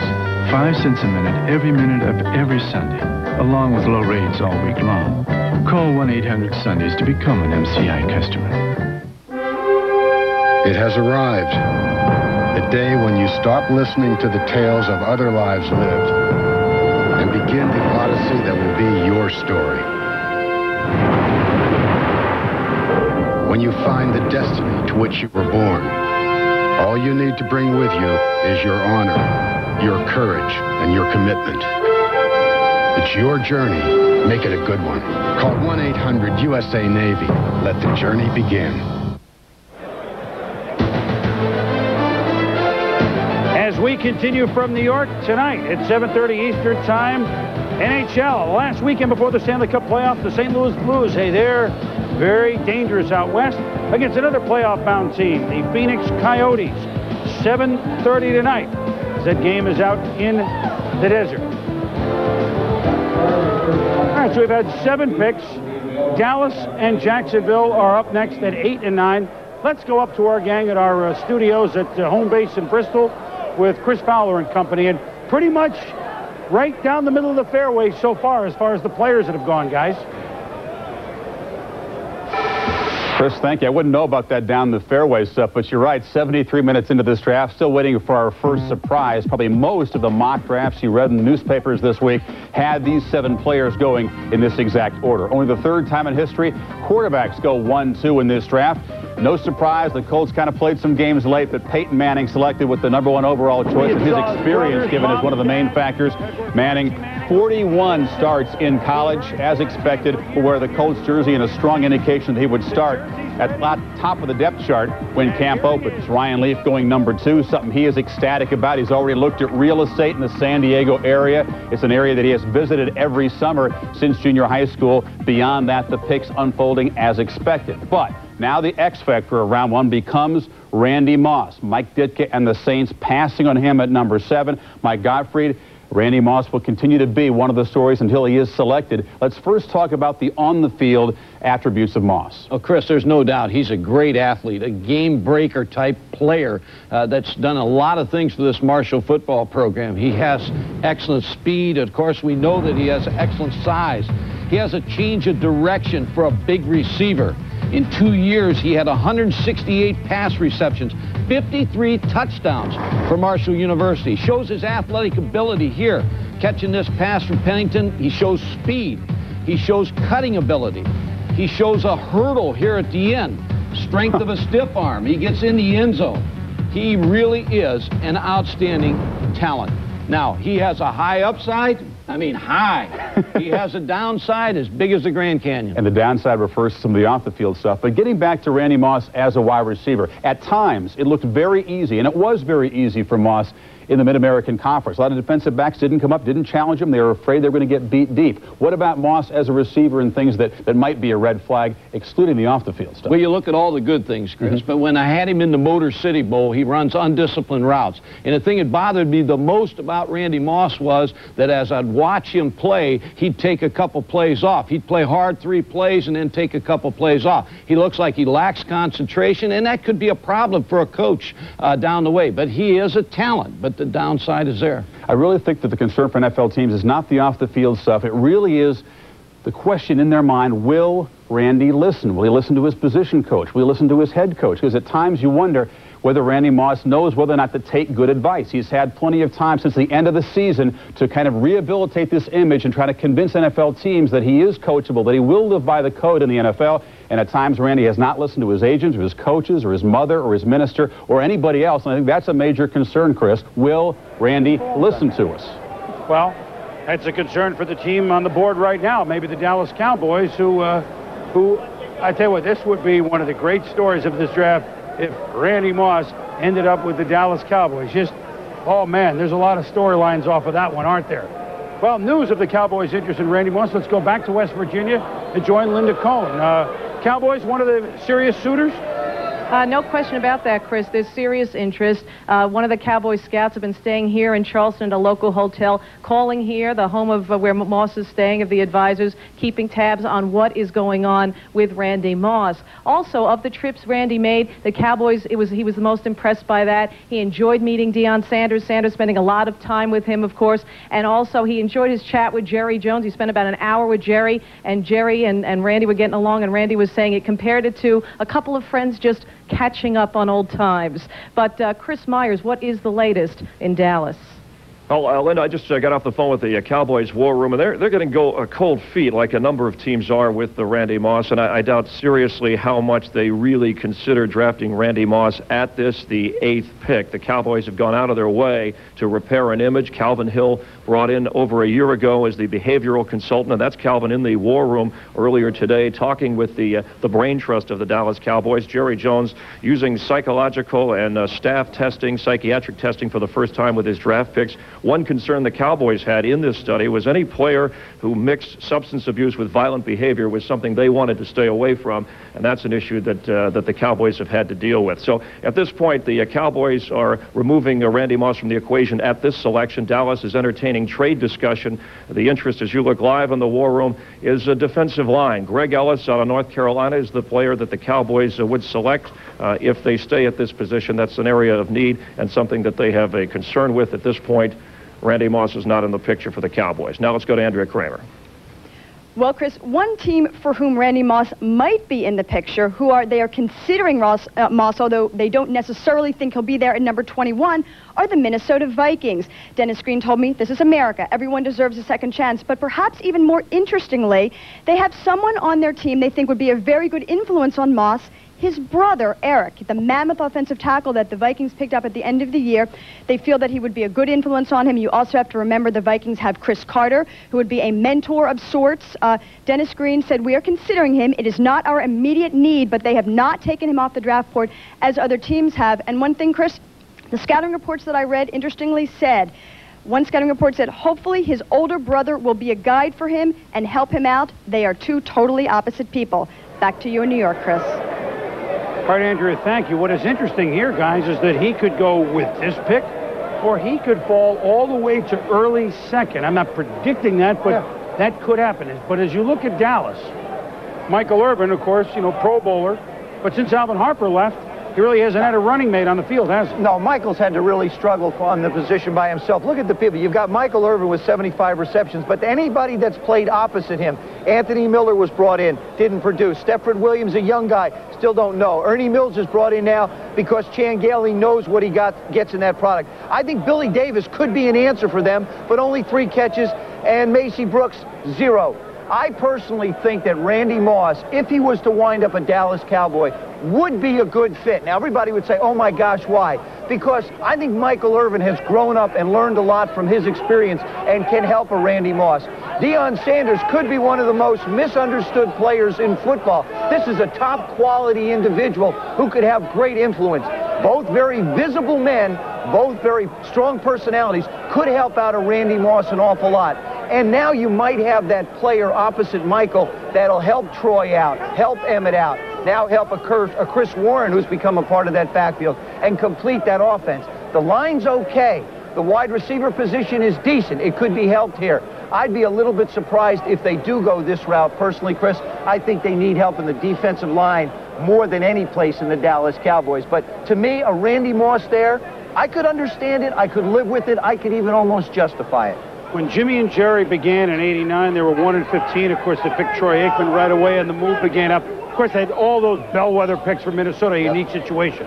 Now, Mel, since Jimmy has left, the drafting success, of course, much tougher to draft at the time, you know, at the bottom of the round. Right. But the drafting success of the Cowboys they need a home run here soon, don't they? They really, since Jimmy left, Chris, uh, their track record is has been horrible in terms of the draft. Except that's Larry why, Allen, That's right? why, exactly. Larry Allen, the one gem in the second round. But when you look at the uh, Super Bowl team and now a 6 and 10 club struggling, it's because you don't draft well. It catches up with you three or four years down the road. And certainly, I think the Dallas Cowboys are on the spot today. You already saw Jimmy Johnson trading down. Now he has three second-round picks. Jimmy's working the process. He's gotten Zach Thomas, Jason Taylor, other players in the draft in the middle rounds. The Dallas Cowboys have not been able to have that kind of success since Jimmy Johnson left Dallas. Well, let me tell you what's going on right now. As we suspected at the top of the telecast, the next spot for a running back, Jacksonville will probably take one at nine unless a team moves up to eight like New England. Of course, they lost Curtis Martin and the much celebrated offer sheet to the Jets. Now, you look at the two war rooms, they are talking in New England and in Dallas. There's a history of deals between these teams. That should be pointed out. So if, if, if Dallas moves down to 18, they should count on getting Randy Moss there too. And New England then might go up to take Fred Taylor ahead of Robert Edwards or the back that they would like uh, next to Curtis Enis. Possibility? That's exactly I think right, it's a Chris. distinct possibility. It is, and I think you look at Jacksonville, we already talked about St. Louis targeting Enis early in the process. Jacksonville targeting Fred Taylor early in the process. Everybody knew to get Fred Taylor, you have to move ahead of the Jacksonville Jaguars. And I think Fred Taylor, Robert Edwards, later first round. Is he going to be there for Kansas City? New England also has that running back need at 18 with two first round picks. That's why, of course, they are thinking also of moving up to get Fred Taylor, which could allow ultimate Edwards to drop to KC. Holcombe also in the Chiefs' thought process process, and also Skip Hicks. Early to mid-second round is where I think you'll see the UCLA product. I predict a trade here. Do you? I, I, I think they pull the trigger here. Well, I think when you look at Jacksonville, you, know, you look at Fred Taylor, he would be an ideal fit. James Stewart's down there. They want to run the ball. They know they have to keep that defense off the field, which was handled up the up front. Terrell Davis had a huge day in the playoffs, so they want that running back. Fred Taylor's not there. Then they go to Keo Spikes. But Fred Taylor is the team everybody in the league knew, New England knew the last week, week and a half, that we have to get ahead of Jacksonville. Well, plus the other thing is, is what you wind up doing at this spot now, you're really talking about swapping ones and only going down about eight to ten places. You're not talking about two number ones and the deal that Chicago wanted. So it's not a big stretch for somebody to start moving down here. Moving down from the eight spot down to 18 is not that big a move. They can still get defensive help there if they need it. They still could possibly have the wide receiver if they want to go that route. It gives Dallas a lot of flexibility. I, I tend to agree with you, Chris. I think it's a good place for a deal. Well, the suspense is killing us because the card is up and the clock is wound down. Do the Cowboys stay or do they go? Well, with the eighth pick in the draft, the Dallas Cowboys select Hmm. defensive end from North Carolina, Greg Ellis. Well, we try. We're trying to engineer deals here. We can't pull any of them off. I thought we'd be. I thought this be our second or third deal by now. I don't think. I don't think the phone's out. I don't think the phones are out. I just think that the price is too high that people are asking, and everybody That's says because of Arizona, San Diego. That's probably changed the whole climate, don't you think? Plus, this also fits a need for the Dallas Cowboys. Well, no question about that. I mean, they, they have Leon Lett in the middle, but they uh, they're a little light on the outside, and Shante Carver is reportedly about to retire. Well, the number two ranked defense, they didn't play like it, Chris. I think teams dominated them up front. They ran the ball. Dallas could not stop opposing running backs. They had no pass rush. Greg Ellis is a very athletic defensive end. He's up to around 280 pounds. Set the all-time sack record at North Carolina. Broke actually Marcus Jones' old record. Here's a kid, you know, really a hard worker. I like Grant Wistrom, also very athletic. Diagnoses well. You see the ability to read and react very quickly. You locate the football, make the play, obviously very consistent. You never have to worry about Greg Ellis taking a down off. He also has a long arm and the kind of wingspan that you want in a pass rusher. And we talked about Andre Wadsworth being a great kid. Greg Ellis is regarded as the team leader of a North Carolina Tar Heel football team, which the last few years was very effective under their former head coach, Mack Brown. Well, this is a spot where, hey, Greg Ellis is certainly could be a, a, an outstanding player, and Dallas hopes so but where by not making a move or, or, or nothing being changed around the running back situation right now, that the draft has taken a turn. The defensive linemen, now they may come off the board a little bit quicker. So the trade was not made. Jacksonville is now on the clock. We take a look at New England's war room as they now go back. The front, you know, it's a little empty here because now they're not slated to pick until 18. They'll get busy on the phones again. But now if they're looking running back, We'll have to see what goes off in the next 10 picks. When we come back, we'll talk with Peyton Manning, the number one pick of the draft. Looking pretty good with that Colts cap. We'll be back.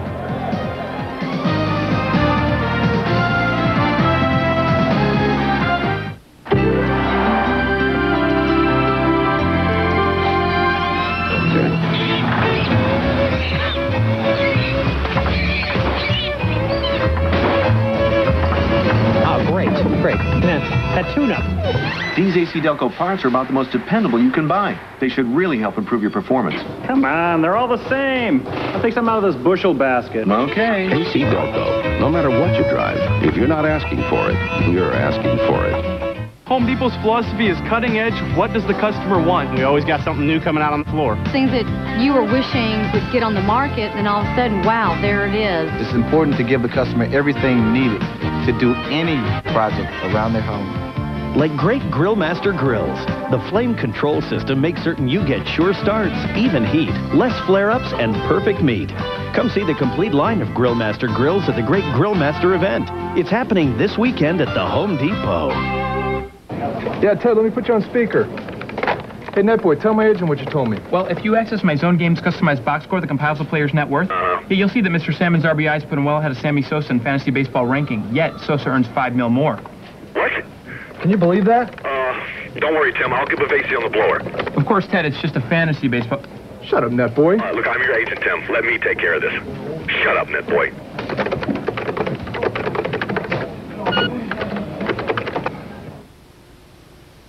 Hey. Sunglasses can help you see better. They can make you look cool. Thanks. Enable you to sleep on the job. And this year, sunglasses can also help you save a life. Just watch Cure by the Shore on QVC live from the Cannes Film Festival. Cure by the Shore is a special presentation showcasing designer accessories. Net proceeds will benefit the National Women's Cancer Research Alliance. Every pair you buy will help you see a cure for women's cancers. Designer sunglasses and accessories at half price. Saturday, May 16th on QVC.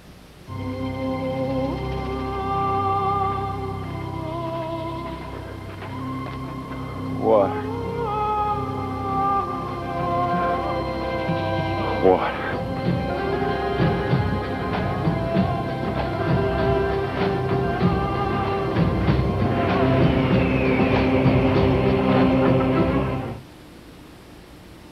See your participating Kawasaki dealers.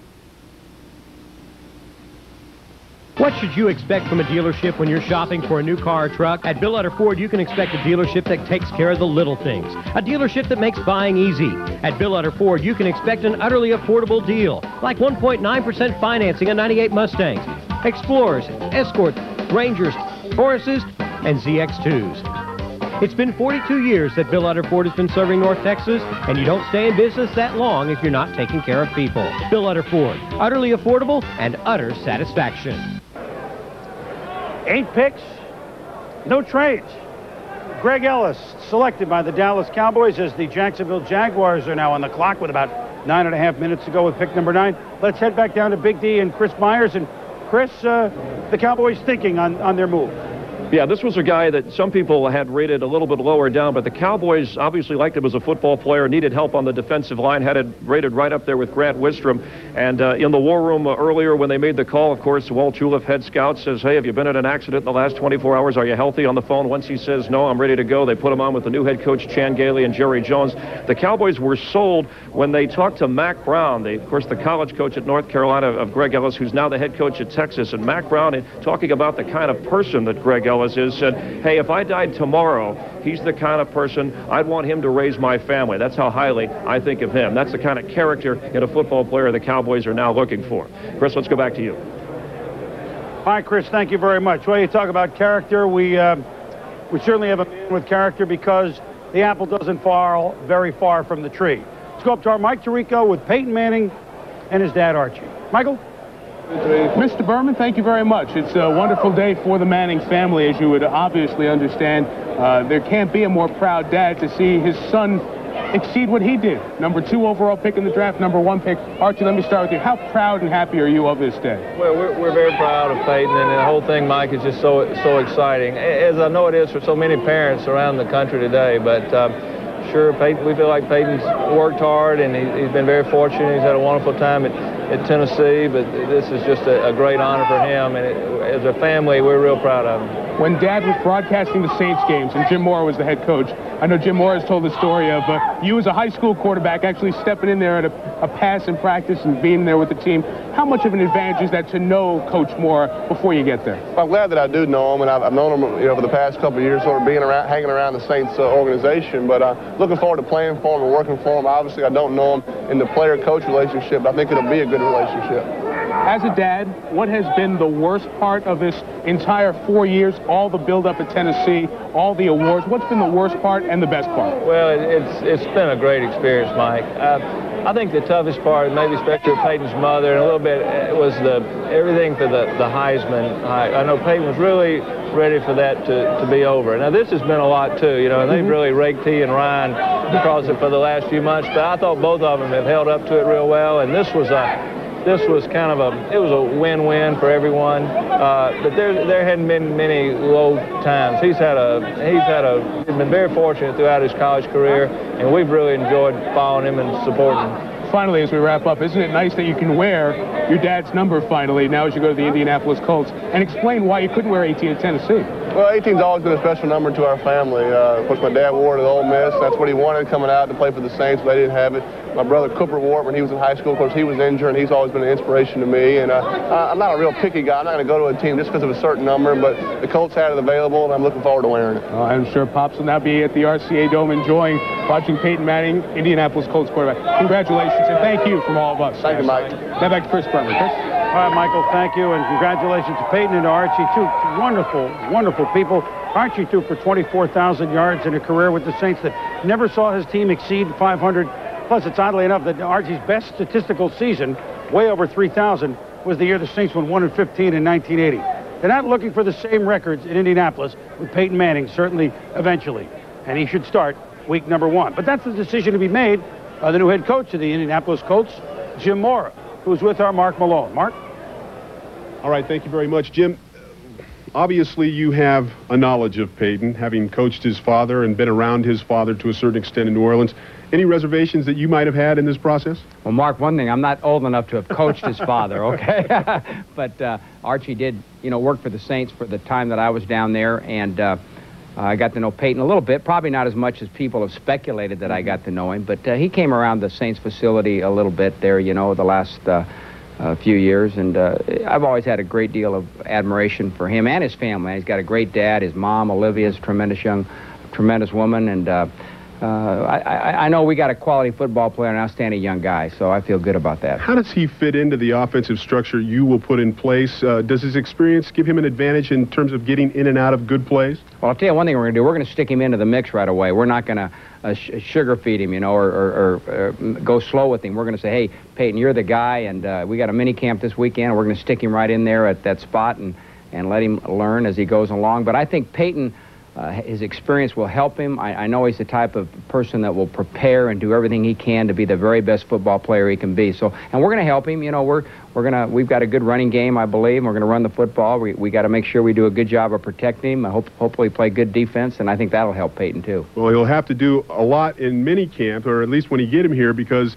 his petition to join the Colts uh, before June 1 has been turned down, although Peyton Manning has graduated. So it'll be a few weeks before you can get going with him full bore. Until then, it's going to be an interesting interview between Jim Mora and Peyton Manning. Now let's go back to the studio. All right, Mark and Coach Mora, thank you very much. Uh, Peyton will probably not be signed by the guy. He's the guy that wants to get in and play right away until the collective bargaining agreement is officially ratified by all the players. Reason being, in a few weeks that's supposed to happen. Reason being, the signing bonus in the new collective bargaining agreement can be metered out right now only over five years, but for cap reasons can be metered out over six years.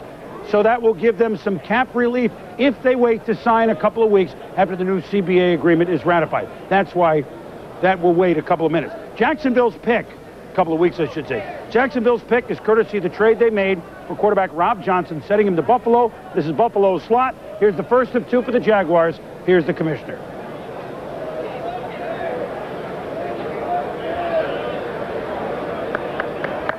With the ninth pick in the draft, the Jacksonville Jaguars select running back from Florida, Fred Taylor.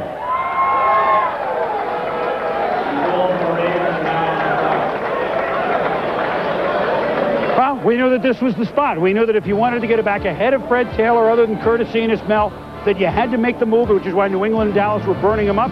Fred Taylor played at Florida, so the folks in Jacksonville know him quite well. Well, they really do, and I think when you look at Fred Taylor, you see a guy who has those subtle moves, and he also has some power. Remember, you're talking about a 200 30-pound running back, not a fullback. He showed with that 4.38 clocking during an individual workout that he can take it the distance. And as I said, subtle moves, not tremendously elusive, but can break tackles, has a lot of power. And I think that's what you're looking for in Fred Taylor. Also, at the NFL level, you're going to have to see Fred Taylor improve in terms of his pass receiving skills. We know he can run with the football in those two dominant games against Penn State and Florida State late in the year. But as far as rounding off his game, developing into a more consistent, reliable pass receiving threat, threat out of the backfield is something Fred Taylor is going to have to work on. Well, he's a quote football player, and I got that from several scouts with about five exclamation points. The difference in the Jaguars last year to this year, there were two of them. I mean, uh, two years ago, remember, they were close to beating New England and going all the way to the Super Bowl. Natron Means caught fire at the end of the 96 season, was tremendous in the playoffs until the AFC Championship game. Last year, they never had a back really catch fire, and they were way late in Denver. That's one of the reasons that they were not as successful last season. Well, Taylor should fill the void. You're really talking about a division that prides itself on its abilities to be able to run the football. You take a look at the running backs in this division. Jerome Bettis, 1,600 plus yards. Eddie George, to almost 1,400 yards. Corey Dillon in a very limited time at the end of the season, just with 10 TDs. And this, you're going to remember, this guy played only the last half of the season. So this is a division where they certainly need a, a, a Fred Taylor. What Jacksonville has going for them is a limited amount of guys. They're in a situation where they just have James Stewart, who averaged 4.1. They had Natron Means. He's gone on to San Diego. And Randy Jordan is a, an um, a, a unrestricted free agent. He only averages two yards. Was there a need at running back? Absolutely. There's no question. When you've got wide receivers of the quality that the Jacksonville Jaguars have, you can take time to develop a running back into a pass catcher. I personally think it's the perfect scenario for them. They need somebody to be able to control the ball on the ground more. And this kid, I think, will help them out a lot. Well, now the question is, does New England at 18, who need a running back, will they get the next one, who's probably Robert Edwards, or do teams make moves in between? Keep your eye on that as the saga of the 68th NFL, 63rd NFL draft continues. Baltimore, they talking trade with Carolina? Ray Rhodes and the Eagles on deck, and the saga of Randy Moss. Sprint is proud to announce it's hit its mark again. Three years in a row, Sprint has been ranked number one by J.D. Power and Associates for the highest customer satisfaction among high-volume long-distance users. To celebrate, we're giving people who sign up for Sprint Sense now our biggest offer yet. Up to 300 minutes free. That's on top of the great Sprint Diamond Minute rate. Looks like we're going for four. Call now. 1-800-PIN-DROP. It's an Acura 24-valve V6, like the Acura NSX. It's the power sequential multi-port fuel injection, like the NSX. It's four-wheel independent double wishbone suspension, like the NSX. It's comfortable seating for five, like two and a half NSXs. It's the TL from Acura, the true definition of luxury. Yours.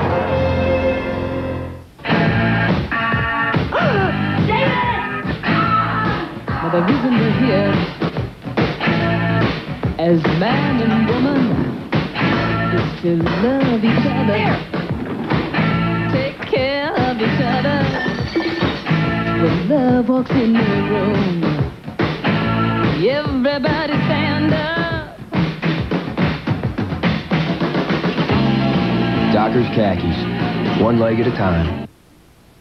Lights, camera, action. Attention local business owners. We at Marcus Media have upgraded our commercial insertion equipment. By investing a half a million dollars in new digital equipment, we're able to deliver the high quality usually seen on national TV spots. We ensure accuracy and dependability for your commercials, which can now be inserted on 20 of the top cable networks. Marcus Media, our investments make you look better.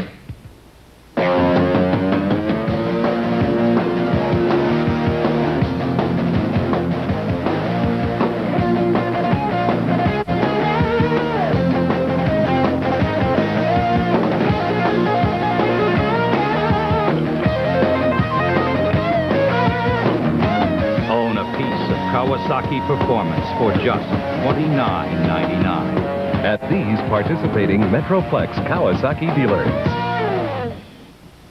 The greatest new cars for 1998 are from James Wood in Decatur and Denton. Hi, I'm Pat Summerall, and you'll quickly discover the beauty, performance, and value of the Oldsmobile Intrigue, the Pontiac Grand Prix, and the Buick Regal at James Wood. Value reigns supreme in every new Chevrolet, and the luxury of Cadillac has never been more affordable. New Chevrolet and GMC trucks are value priced every day, where the difference is definitely worth the distance. James Wood, Decatur and Denton.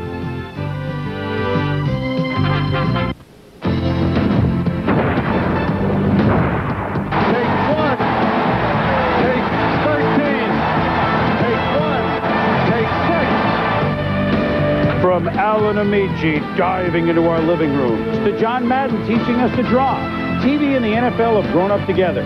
Monday night, you can relive it all with replay, the history of the NFL on television, including a special look back at the beginnings of Monday Night Football.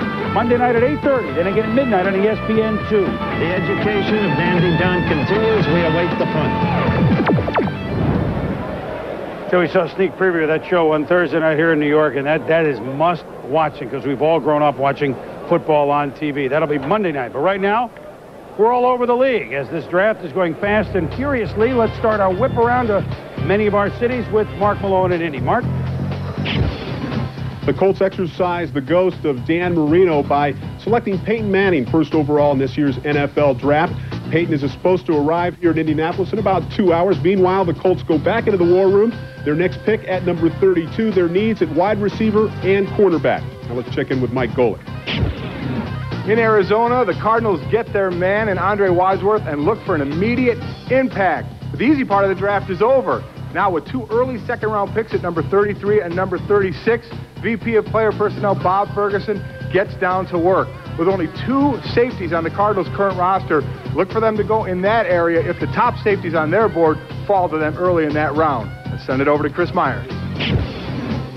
Here in Dallas, the Chan Gailey era begins with the drafting of a defensive lineman, and live behind us, the new head coach of the Cowboys and Jerry Jones are holding a news conference. Go ahead, gentlemen. I know you have work to do, but they had need positions at wide receiver and at defensive end. A question of character came under fire with Randy Moss, and Dallas opted for Greg Ellis. It's worth repeating when Mack Brown, his college coach, told the Cowboys, "Hey, this is a guy. If I died tomorrow, Greg Ellis, I'd want raising my children." They said this is a character guy who can play football and he can rush from either end as well. Right now, let's go to Andrea Kremer.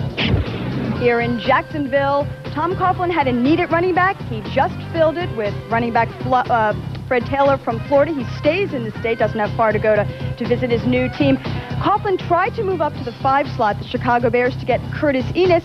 Instead, he settles for Taylor, and uh, at the 25th spot, he'll look for cornerback help. Tom Coughlin yesterday went through his draft board with me. It's gone exactly as he anticipated. So now let's go to Solomon Wilcots.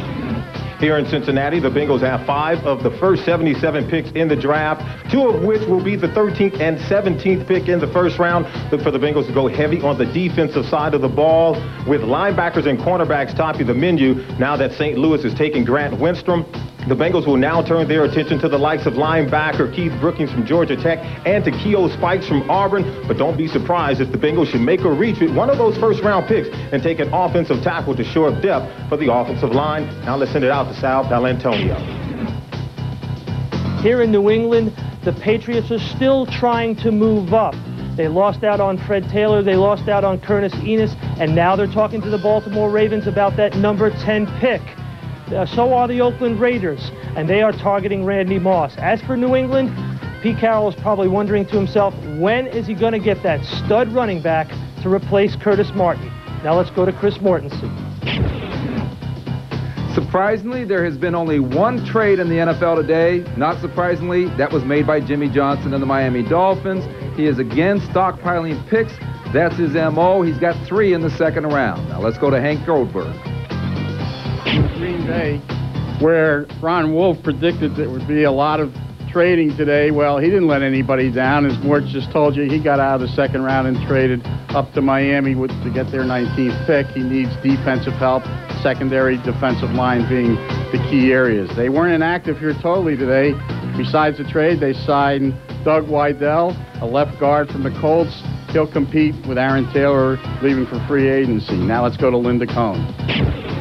We're in Charleston, West Virginia with Randy Moss, and sure, Randy wishes he would have been picked higher, but he remains upbeat. So does his camp. Why? Because the Cowboys and Raiders are keeping in touch here and saying there's still a possibility there could be a trade to get Randy Moss. Chris Berman in New York, back to you.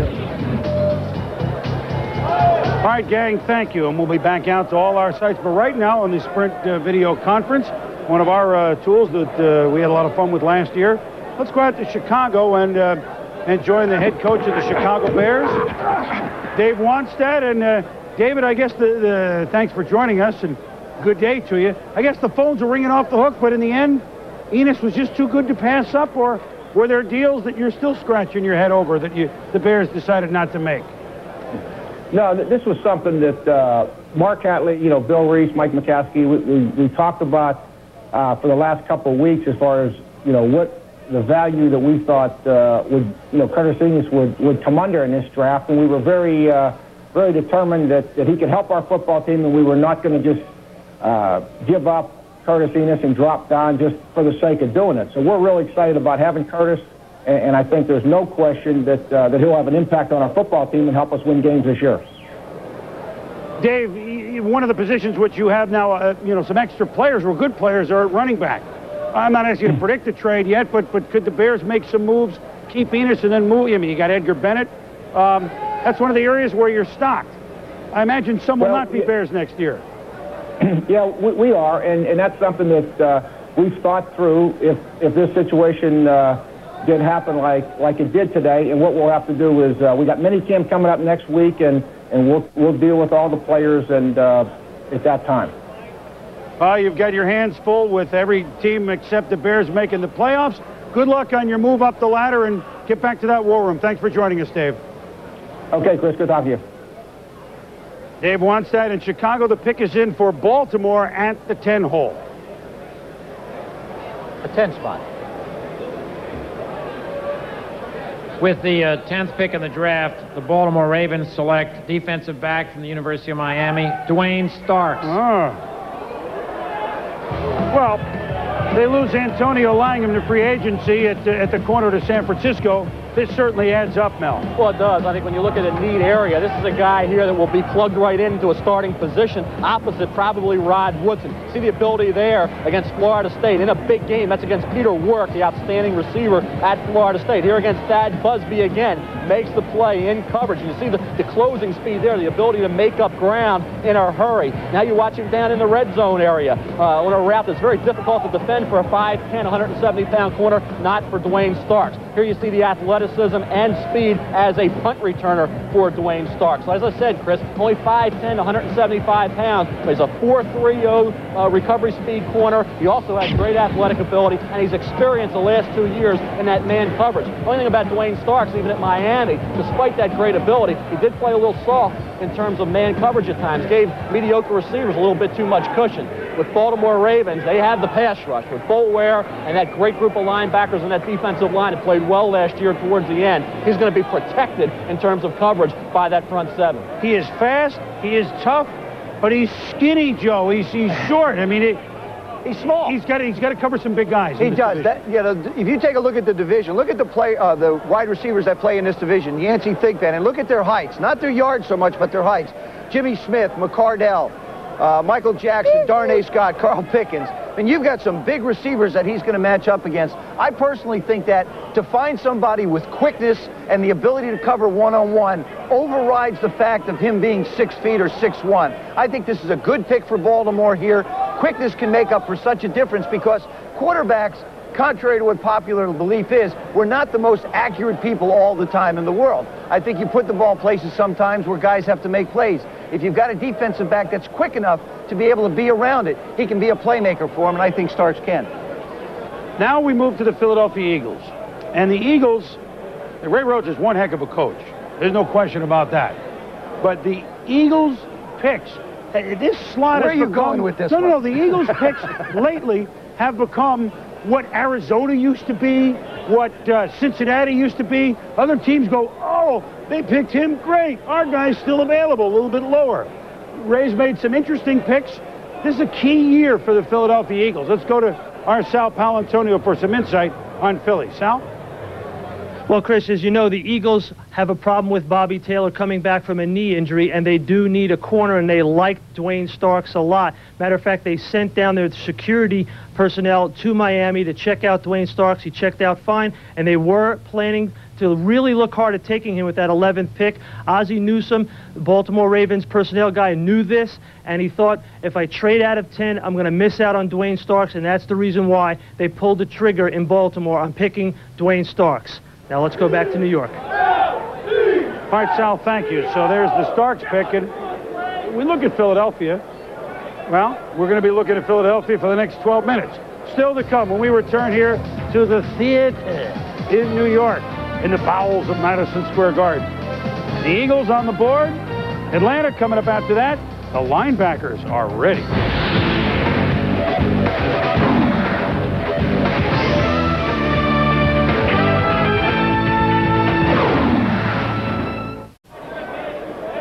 The Eagles are on the clock, but they haven't waited that With long. the 11th Commissioner pick Paul the first Tagliabue. round, the Philadelphia Eagles select tackle from Florida State, Tra Thomas.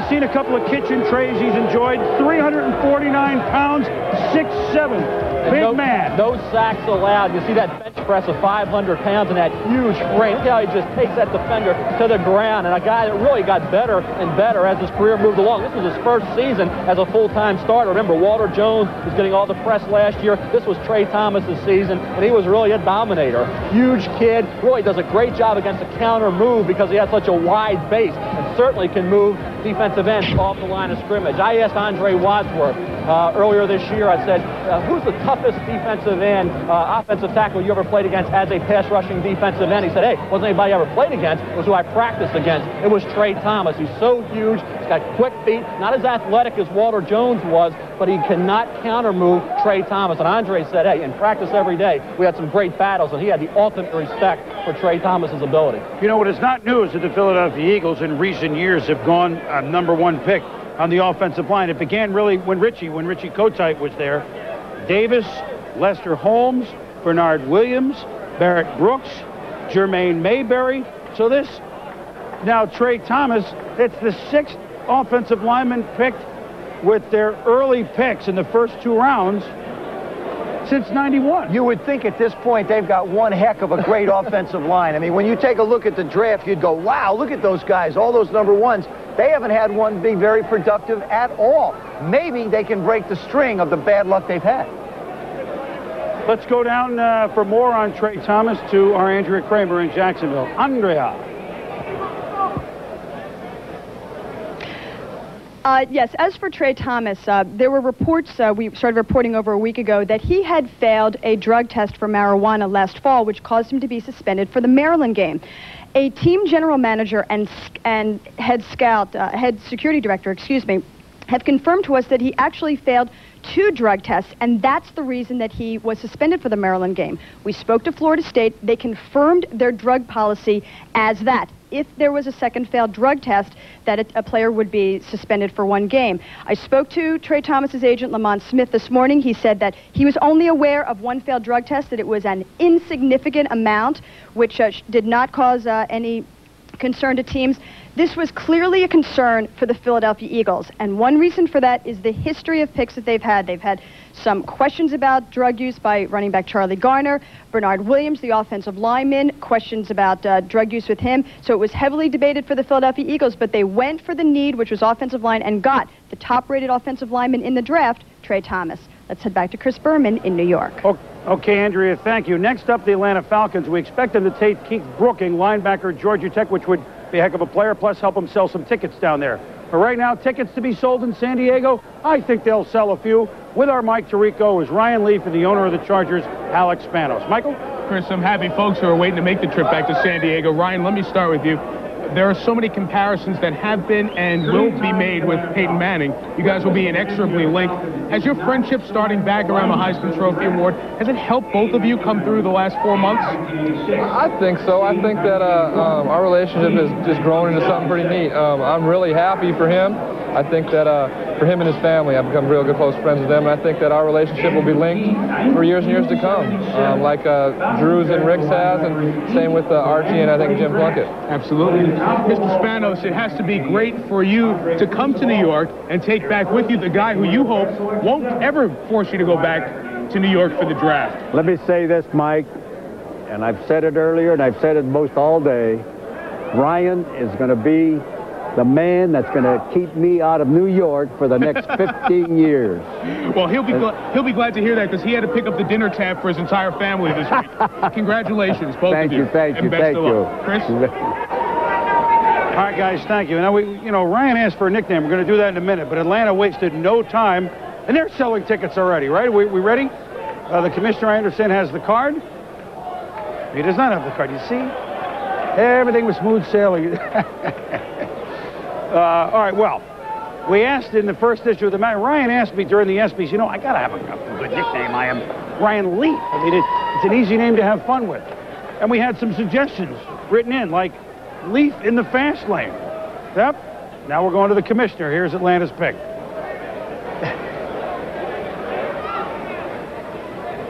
With the uh, 12th pick in the first round, the Atlanta Falcons select linebacker from Georgia Tech, Keith Brooking. Well, I tell you, Atlanta, uh, we'll get back to that in a minute. Atlanta is ecstatic with that. Again, a hometown guy and a linebacker along with Tuggle in the middle that'll, you know, make their defense start to make some plays a little bit more than they have. Leaf in the fast lane, which of course is going to San Diego, and the Eagles sang the song. Quantum Leaf. That's pretty good. You got to believe. That's real good. Rod Stewart, which was my suggestion, reason to believe. Comic relief, leafing on a jet plane, leaf and let die, leaf of the zone, four-leaf clover, but the winner and the one I like the most, we got it from several folks, Ryan Beyond Belief. He enjoyed the name too. He said that's a winner. So that's what he is on NFL Primetime. Ryan Beyond Belief. And of course, Brookings, another name I can have some fun with. He's the a Babbler. Great football player. I thought he was the fifth best player in this draft. You know, Atlanta Falcons team there at 12. Obviously, a neat area linebacker. And remember, Keith Brooking, he was always perceived to be a middle linebacker. He had played there most of his career. Outside linebacker this year here in the Senior Bowl with a sack. And you'll see him here against Thad Busby in Florida State. Sack again. You see a 4.48 speed, a 245-pound frame. Sideline to sideline defender. Great nose for the football. This kid comes to play every week. A guy with, I think, a Chris Spielman type uh, tenacity with more physical ability. Here, 40 yards down the field, making the interception. Here on special teams in the Senior Bowl, making the play. So you're talking about a guy talked to Keith a couple months ago, Chris. He said, these individual workouts are wearing on me. I can't hit anybody. I tell you, he is definitely that Chris Spielman style of player with a little bit more physical ability uh, mixed in. And I tell you, for the Atlanta Falcons, they got themselves one heck of a talent with Keith Brooking, with also the great attitude that Dan Reeves wants in his football players. And they don't even have to pay for the moving van, really. Well, the other thing is, too, is you got to remember that, that the defensive line of the Atlanta Falcons did a heck of a job last year in sacks. They put a lot of pressure on people. Now you add a young speed linebacker and allow them to be able to cover downfield a little bit better. You really make that defense even stronger. You keep a healthy Chris Chandler. Remember, they finished the season 6 and 2. You were talking about Arizona being one of those Yeah. up-and-coming teams. I think Atlanta falls into that category, too. They had a nice run at the end, and, uh, you know, the, the Falcons, this will help sell some tickets, no question.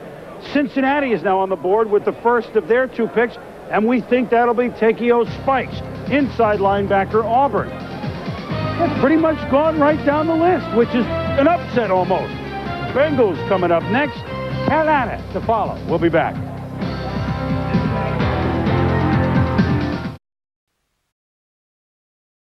This ESPN News presentation of the 1998 NFL Draft is brought to you by Nintendo 64. Get in or get out. By Polaroid. See what develops. And by Janus No Load Mutual Funds. Back in New York, the Bengals didn't wait long. Commissioner Paul Tagliabue. With the uh, 13th pick in the first round, the Cincinnati Bengals select linebacker from Auburn, Takeo Spikes.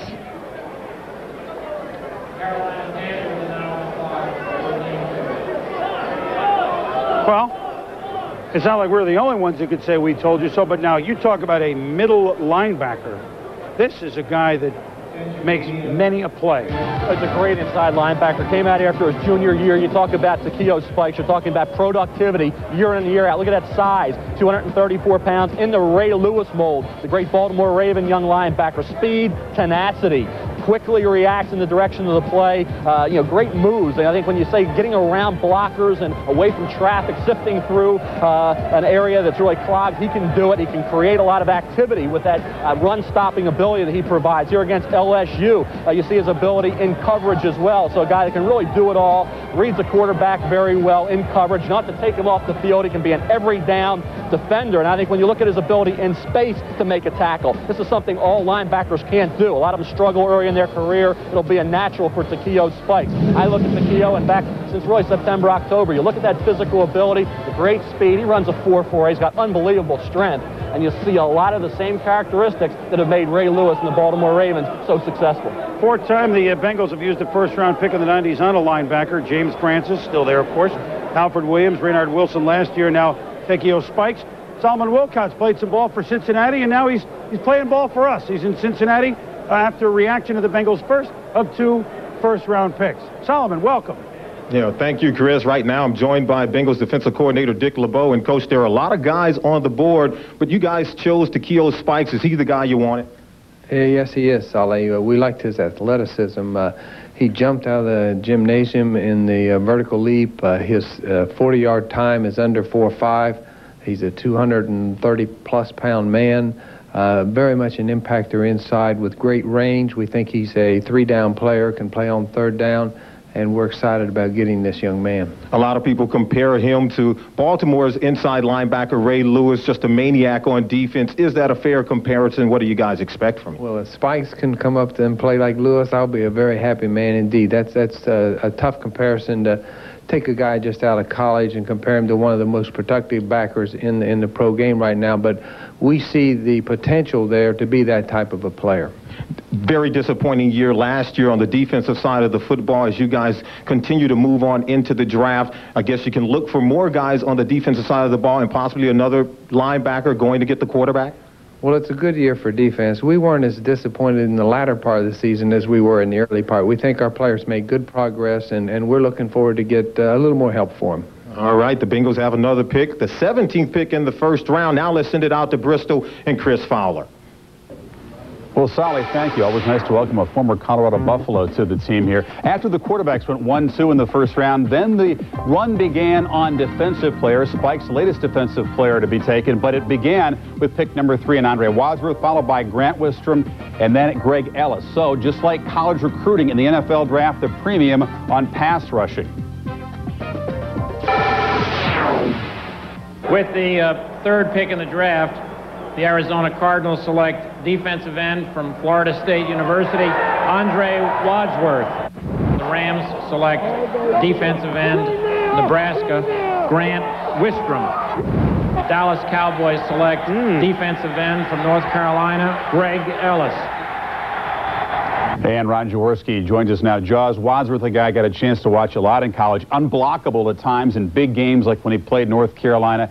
Everybody wants the guy who can explode around the corner and get to the quarterback. Well, Arizona has to be thrilled with getting Andre Wadsworth. Joe Greene, the defensive line coach, now has a complete package to fill out that whole defensive line. As we go to the pre-play, what we want to see here is what they will do with their 4-3 in the nickel situation. You'll have Simeon Rice on this side. You'll have Eric Swann in here, and you'll have Mark Smith in there. Now, normally you'll get the double team right in, in there. That's the guy you want the double team on. Of course, that's Eric Swann. That means this position right here, Andre Wadsworth will get the single on the right tackle, gives him the clean shot to the quarterback. That's what you want. Now, with Simeon Rice coming off this side, and you've got Wadsworth coming off this side, the quarterback drops, sets up, there's the pressure up the middle. Now, the other thing that Andre Wadsworth brings to the table is what teams now doing called the zone blitz. He will rush the quarterback. The nickel dime, the, excuse me, the dime corner will come off the corner, attack the quarterback. Now Wadsworth, with his great athleticism, athletic ability, will engage and drop off into coverage. That's what he brings to the table defensively. What a package. The Cardinals, I believe, are going to be a very good defensive team. When you look at their corners, Tom Knight, Aeneas Williams, great cover guys. Now you get that quick pressure on the quarterback. It makes the secondary even better. Hard to believe that Andre Wadsworth was not recruited by anybody when he came out of high school in 1993 from an unrecruited walk-on who thought he had played his last football game when he played for Little Miami Christian High School. He thought the career was over all the way up to a number three pick in the NFL draft from walking on gained a lot of weight, hung out with Peter Boulware, who was his roommate, and Boulware has challenged him to surpass Boulware's rookie sack total of 11 and a half. Now, joining Grant Wistrom out of Nebraska, already taken in his first round, is Jason Peter. Peter was the roommate of uh, Wistrom at Nebraska. Those guys shared a townhouse and also shared the role of defensive leader. Peter and Wistrom at times able to scare their teammates into strong defensive play. And Peter, a guy who has put on a lot of weight like Wistrom since the end of the season. That's coming up. Sit.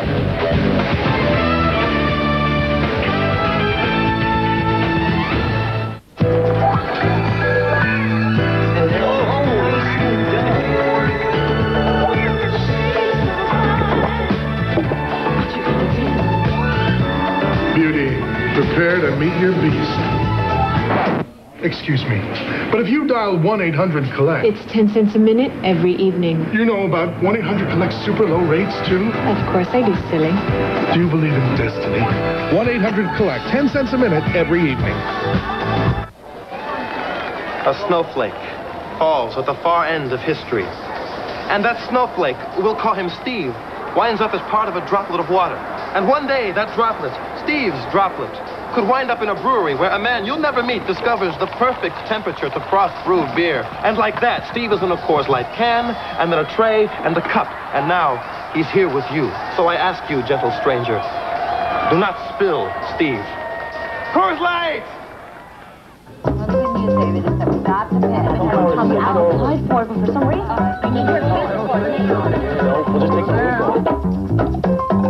So, these guys,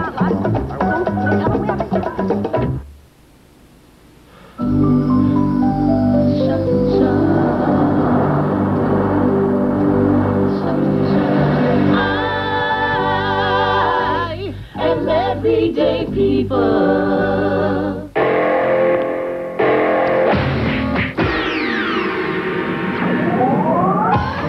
Air Canada has more non-stops between the USA and Canada than any other airline.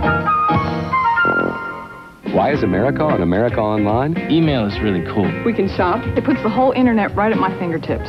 And we've spent over $500 million to more than triple capacity. You name it. Online, I've got it. America Online, so easy to use, no wonder it's number one.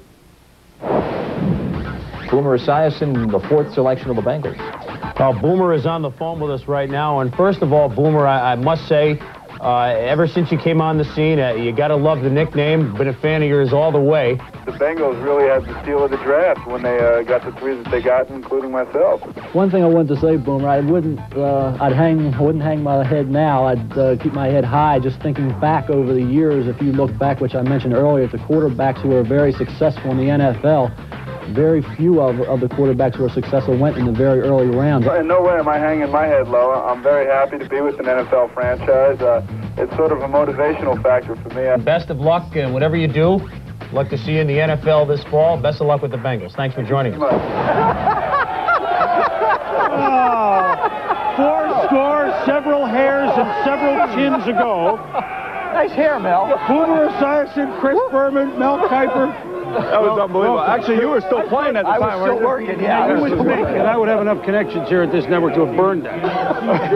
How you doing? I'm, I'm doing very good, actually, and uh, I feel good, and uh, it's been an interesting day, to say the least, with Well, Randy Moss. And, You, you, yes, it has. You look at your team. Well, you quarterbacked last year, and did they offer you another contract, by the way? Uh, ac- actually, they did right right prior to this, but uh, I knew that they were going to go linebacker. I, I'm sure that they'll probably end up going defensive back or offensive tackle. I still think that they have a really good team. You know, last year at this time, the Bengals had very high hopes. When you look at what they're going into this year, however, they have nine playoff teams that they have to play. They have to play the NFC Central, the most, uh, uh, I guess, competitive uh, division in all of football. So they're going to have a very, very hard schedule. You have fond memories of this day. I mean, I mean, you've sat around for a while, but it, it worked out all right. You know, my, my memories were not fond, though, to be honest with you. No? Because, uh, you know, I thought I was going to be a top 10 pick, to be honest with you. And, and uh, I, you know, I dropped to number 38 or 37, I can't remember, and it was a bittersweet day for me. Um, you know, the difference then, though, was uh, we had the, uh, you know, we had the USFL, and there were all the questions of whether or not I was going to sign a $40 million contract, much like Steve Young did. So a lot of teams were afraid of that. And I was dropping much like, you know, Randy Moss. I don't know, if, you know, obviously for probably different reasons, but I, I think Probably. That, well, I, I think for the Because most you worked for me. that was That's right. I did work You for you did at the work for me. I remember But that. but it was a bittersweet day for me. But I certainly was very happy that I, that I got into the NFL. I did not want to go to the USFL, and I thought I made that plain and clear. But when Steve Young signed that big contract with uh, the LA Express at the time, I think it had definitely definitely had an impact on me. Well, now you got uh, 14 years later a 40 million dollar contract with ABC. So yeah, you, right. So yeah. you see, if you sit around and you, know, wait, you get. yeah, the, let me just tell you, this TV doesn't pay like the football does. well, not yet. Right. Okay. Let, us get caught up. You're going to join us for a while because the Bengals, of course, are on the uh, clock a few picks down. Carolina picked in a hurry while we were away Jason Peter because their run defense last year dreadful. They're trying to restructure their defensive line, and Jason Peter will be a key ingredient. You see 274, well, 292 during individual workouts, so his weight did fluctuate, but he can get off a block, plays through the double team. And remember, late this year, he had those back spasms, and played through that. He was at least on the field, trying to get on the field to play. Really set a great example for his teammates there. Hard-nosed, very relentless here on the sack. Uh, I think you look at Jason Peter, he also, because of that size situation, now 292, and his quickness, which you see right there against Brock Fjord, gives you the flexibility. He can play a, a defensive tackle spot, a nose tackle spot, a defensive tackle spot, and a 3-4 for Carolina, and it gives him a lot of flexibility if, in fact, his weight can remain in that 290 range. Well, Peter will be playing the Carolina Panthers hope next to Sean Gilbert. And that deal has not yet been made because Washington and Carolina, frankly, got into a Hatfield and McCoy situation. Uh, so now it can be made after this draft, not made yet, but Sean Gilbert signed a sheet, or will have, with Carolina. Let's go to Mark Malone with some information about Sean Gilbert and the Panthers. Mark? Well, Chris, I've talked to Dom Capers, and he said, in fact, as, as you mentioned the Sean Gilbert situation, they traded their 43rd pick for uh, the number one pick in 2000 from the Miami Dolphins. Now, that'll allow them to give two number ones, one in 99 and one in 2000, to the Washington Redskins for Sean Gilbert. In fact, what will happen is that offer sheet will be signed probably sometime on Monday. Capers feels confident that uh, that's going to get done. They've done a lot of movement in the free agent market. They've had nine free agents signed, most of those on defense. Gilbert will make it 10. And now that they've got Jason Peter, a guy that can replace Craig inside at the nose tackle, they really feel that they've got that defense back in order. Boomer? All right, Mark, thank you. We, uh, of course, that's one that we've been watching for, uh, for a couple of weeks. Sean Gilbert had as many tackles last year as Mel, Joe, and I combined. Uh, when he plays, he's pretty good. I mean, remember, he was drafted first round very high, and his second year, uh, year with the Rams, when they were still in Los Angeles, and now that puts that back some, he had double-figure sacks. So they really are getting a guy that hasn't sacked uh, very high figures in about four years. But is it a big gamble to get a player like this? He's still young, guys. I don't really think it's a gamble. I, I, what I think is I think it's a, a, calculated risk, however, because he's been out of football for a year. They're going to be paying an awful lot of money for him, yep. and they're going to have to be giving up some draft picks for him. I mean, this has got to, this player has got to produce. At least you know you're getting a, a known quantity, though. Well, I don't, I, I, I don't necessarily agree with you. No, you don't agree with uh, anybody. Well, no, I do actually. At time to time, I do. But I think that I think the year off doesn't really hurt him that much. I think that he's okay. He's rested. Any injuries, you know what it's like. A guy takes a year off, all of a sudden you feel rejuvenated, you feel energized. I think the money he's going to get is certainly going to energize him. Now you add Peters as another young defensive tackle. Carolina, all of a sudden, in one fell swoop, winds up solving their interior problems, much like the Redskins did with Stubblefield and Wilkins. Well, I think it's great for him, you know, I, and certainly with the money that he's making. But I also think that, you know, they're mortgaging a, a pretty hefty future, uh, uh, you know, draft situation yep. for them. So, you know, this is uh, they're going for the championship. That's what they want. Well, Boomer, he's got a lot to prove. I think as an athlete last year, everybody kind of blamed Sean Gilbert. Said, hey, if Sean Gilbert was in there, maybe the Washington Redskins are a playoff team. So I think when you look at Sean, he's coming in, he's fresh, maybe not rusty. Who knows? We'll see. Uh, but he's certainly in that defensive structure. They were old last year. They had a lot of age up front, weren't very active. And now when you add a Jason Peter and a Sean Gilbert into the mix, it's got to upgrade that front seven. Let's go up to a guy that knows a little bit about defense, our, our Tom Jackson on, on, Sean Gilbert after, uh, after shaking a little bit of the rust off. However, Seattle is on the clock. Are they about to make a pick? Is that what we're doing? We're going to go to Tom. Somebody give me some help here. Seattle's pick will probably be Anthony Simmons, linebacker from Clemson. And as we go up to, now we're not going to go up to Tom. How about that? We're going to go to break. You know what? I saw so three different covers. I'd like like two minutes play. We're going to call a timeout. We'll be right back.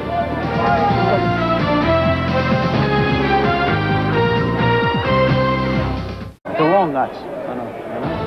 Starting this fall, the NFL on ESPN Radio. Live up to the minute stats and scores as they happen from around the league. Well, not starting this fall. We've been doing that for years. Hear interviews from the stars that made the plays happen after it's over. NFL on ESPN Radio starting the first Sunday in September at 11 a.m. Eastern Time. So if we have to call an audible on TV, you can go to ESPN Radio, basically.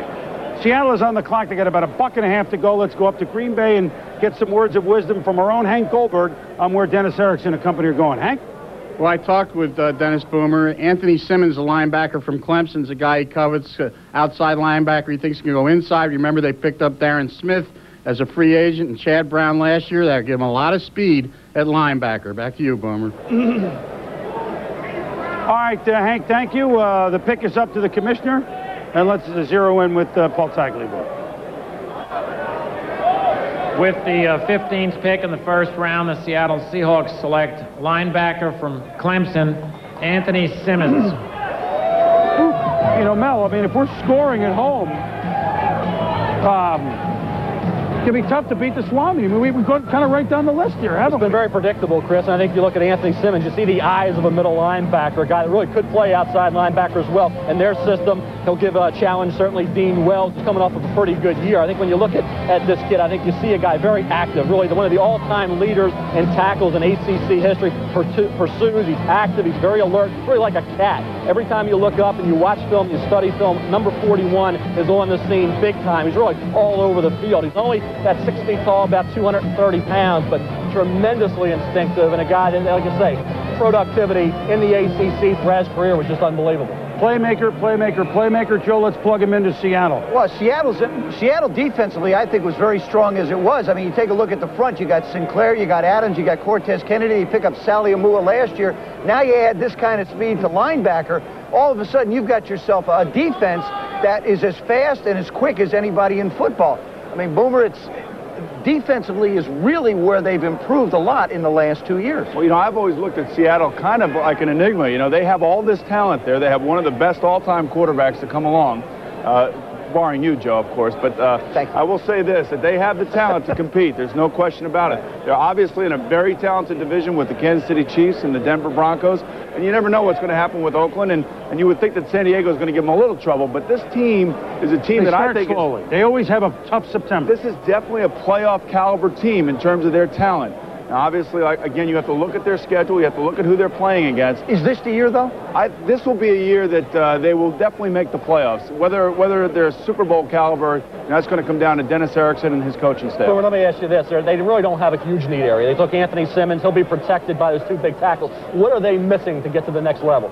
Well, to me, it, it, it comes all back to the coaching staff. You know, they have to get them ready to come out of the chute, and they got to be fired up as soon as the season starts. They cannot afford a slow start. You know who's going to be fired up? Game one, Ricky Watters. Game one at Philadelphia. Well, Right. that, that, that ought to fire them up Right, a little bit to try and absolutely. run the ball. Uh, Tennessee and then Cincinnati are our next two picks. Let's go to uh, Andrea Kremer in Jacksonville for some insight. Andrea. Well, Chris, I think that the talk in the in the Oiler draft room is going something like this: the two players that they want are both there. Wide receiver Kevin Dyson from Utah, who Jeff Fisher said would be an immediate starter opposite Yancey Thigpen, and linebacker Brian Simmons from North Carolina, who Fisher said is a difference maker and would be better than any linebacker they currently have. But since both players they want are still there, they are also talking about trading down, talking to the five teams below them. If they believe that they can still get that player, remember Floyd Reese has traded down the past two years and got the guy that he wanted. Back to you, Boomer. All right, Andrea, thank you very much. And now we have the Tennessee Tuxedos. And the reason we call them that is they're about to play in their third stadium in three years. Their deal with Vanderbilt is done. They'll play in their fourth stadium in four years next year in 99 when their permanent home in Nashville uh, is built and they're ready to go. Boomer Esiason, you know these Oilers team at 8 and 8, and certainly with Eddie George, they can dictate a little bit on offense. He's the real deal. They need to give Steve McNair as much help as possible. Is this the year that McNair takes off, or is he still a ways to go? What do you think? Well, you know, I think we've seen steady improvement from him, but it needs to take it up another level if this wants to be a playoff team. And they're close. They have a pretty good defense. Jeff Fisher always puts together a good defensive team. I think Dyson's the guy here because of, uh, you know, he'll be a nice combination with Yancey Thigpen. You put Dyson in there, and now all of a sudden you have Eddie George. That's a pretty formidable uh, offensive firepower. Their wide receivers were the most disappointing part of that football team last year. They felt like McNair has reached a level to be able to play and be an efficient quarterback in, at still a very young age, but they didn't get the production near what they needed out of the wide receiving core. You've got Eddie George, so you're going to be able to control the running game. Now all of a sudden you need some place to be able to go down the field. That seems to be the general theme of football teams that want to take it to the next level. Teams like the Oilers, like the Giants, that say we have to now compete against Green Bay and Denver, the teams that can put points on the board. The only way they're going to do it is by throwing the ball down the field. And when I look at when I look at teams like this, and, and I look at their young quarterbacks, now is the time that these young quarterbacks have to start playing to the level of their expectations. I mean, you know, these are first-round draft choices. I look at, uh, you know, what Steve did last year. He was 52%. He was about 2,600 passing yards, 14 TDs. You know, he's got the great scrambling ability. Obviously, has great athleticism. He had eight rushing TDs. He, he gave us fits when we played them last year in Tennessee. But then, towards the end of the year, he didn't play very well for them. So this is the type of year that if this team wants to take it to the next level, you know, he's got to, you know, he's got a match to play in his division. And really, when you look at our division with uh, Brunell and Kordell Stewart, you know, that th- those are pretty some uh, pretty high numbers that he has to match. Boomer, let, let me, let me, let me, and of course we've talked about, you know, Peyton Manning, Ryan Leaf. How tough will it be for them this year with all the expectations, or will it not be tough? If you're in their shoes, project how they'll do in year number one. Well, they, they, they'll definitely struggle. I, I would imagine that Peyton will start uh, the season out as long as he can get his contract Mhm. worked out. And, and the one thing that I keep hearing from these players is that they talk about the speed of the league. It's not so much the speed of the league as when they see that playbook in front of them, and there's 350 pages in there that's not only describing their offense, but all the different defensive looks that they have to face during the season. I mean, it can be overwhelming. And the thing about it is, is that they have 20 hours during the week in college football to study for their game plans. In professional football, that's all you do. You know, you don't have any other books. That's you don't a have day. right. It's a it, yeah, it's a day in, in professional football, and just the amount of information that they have to absorb is monumental, and that's why quarterbacks have trouble. Down 20 points on the road.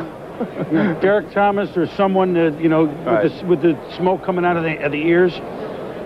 They're going to handle it right eventually, though, but you're going to take some knocks. They'll handle it, you know, and I don't certainly don't want to rain on their parade. No, today. no, I, you know, a I don't want to put, uh, you know, kind of take the smiles off their face. I saw Peyton down, and I said, hey, you know, congratulations, but yeah, well, wait till you get to Buffalo, and it's like, Bruce Smith, and, yeah. and it's in December, and the wind is blowing, and there's 80,000 fans screaming and yelling, and you're down 21 to nothing, and it's third and 14, and number 78 is coming around the left side to your bu- your blind side. That's when you find out what it's like. How long did it take you to feel comfortable in an NFL offense that you felt I'm maximizing my talent in the National Football League? Well, I'll tell you, it was a lot better than the lights here. I'll tell you, you know, actually, we had a game like this in Cincinnati where the lights went out one night. You know, I was like, let's just take it in and call it. It's like a cereal commercial. You know, Mel, when Mel speaks, everyone listens. You can say, look at this silhouette of Mel. The Prince of Darkness, Mel Kiper, will return.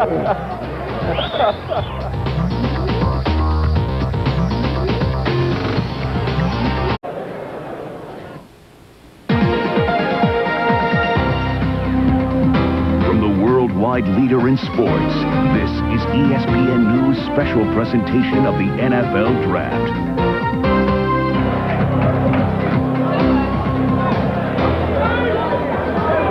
Someone once said, let there be light. I think it was Mel back in 84 with all the hair. It's been answered. We have light, and the light is now on the Tennessee Tuxedos. The Oilers of Jeff Fisher are on the clock. The card is going up. After that, we'll have Cincinnati's uh, second first round pick, and then it's time for New England. And Bo- Boomer uh, talked about it.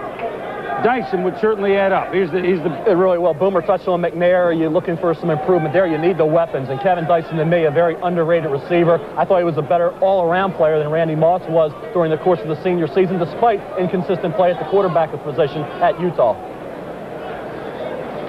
You look at the wide receivers with the Oilers. Of course, Thigpen, uh, 79 receptions with the Steelers coming over, same division. Uh, Willie Day Sanders was really the disappointment. Did not step up and have the kind of year that they expected. Then the two young kids, Derrick Mason and Joey Kent. Joey Kent really struggled as a rookie in the NFL.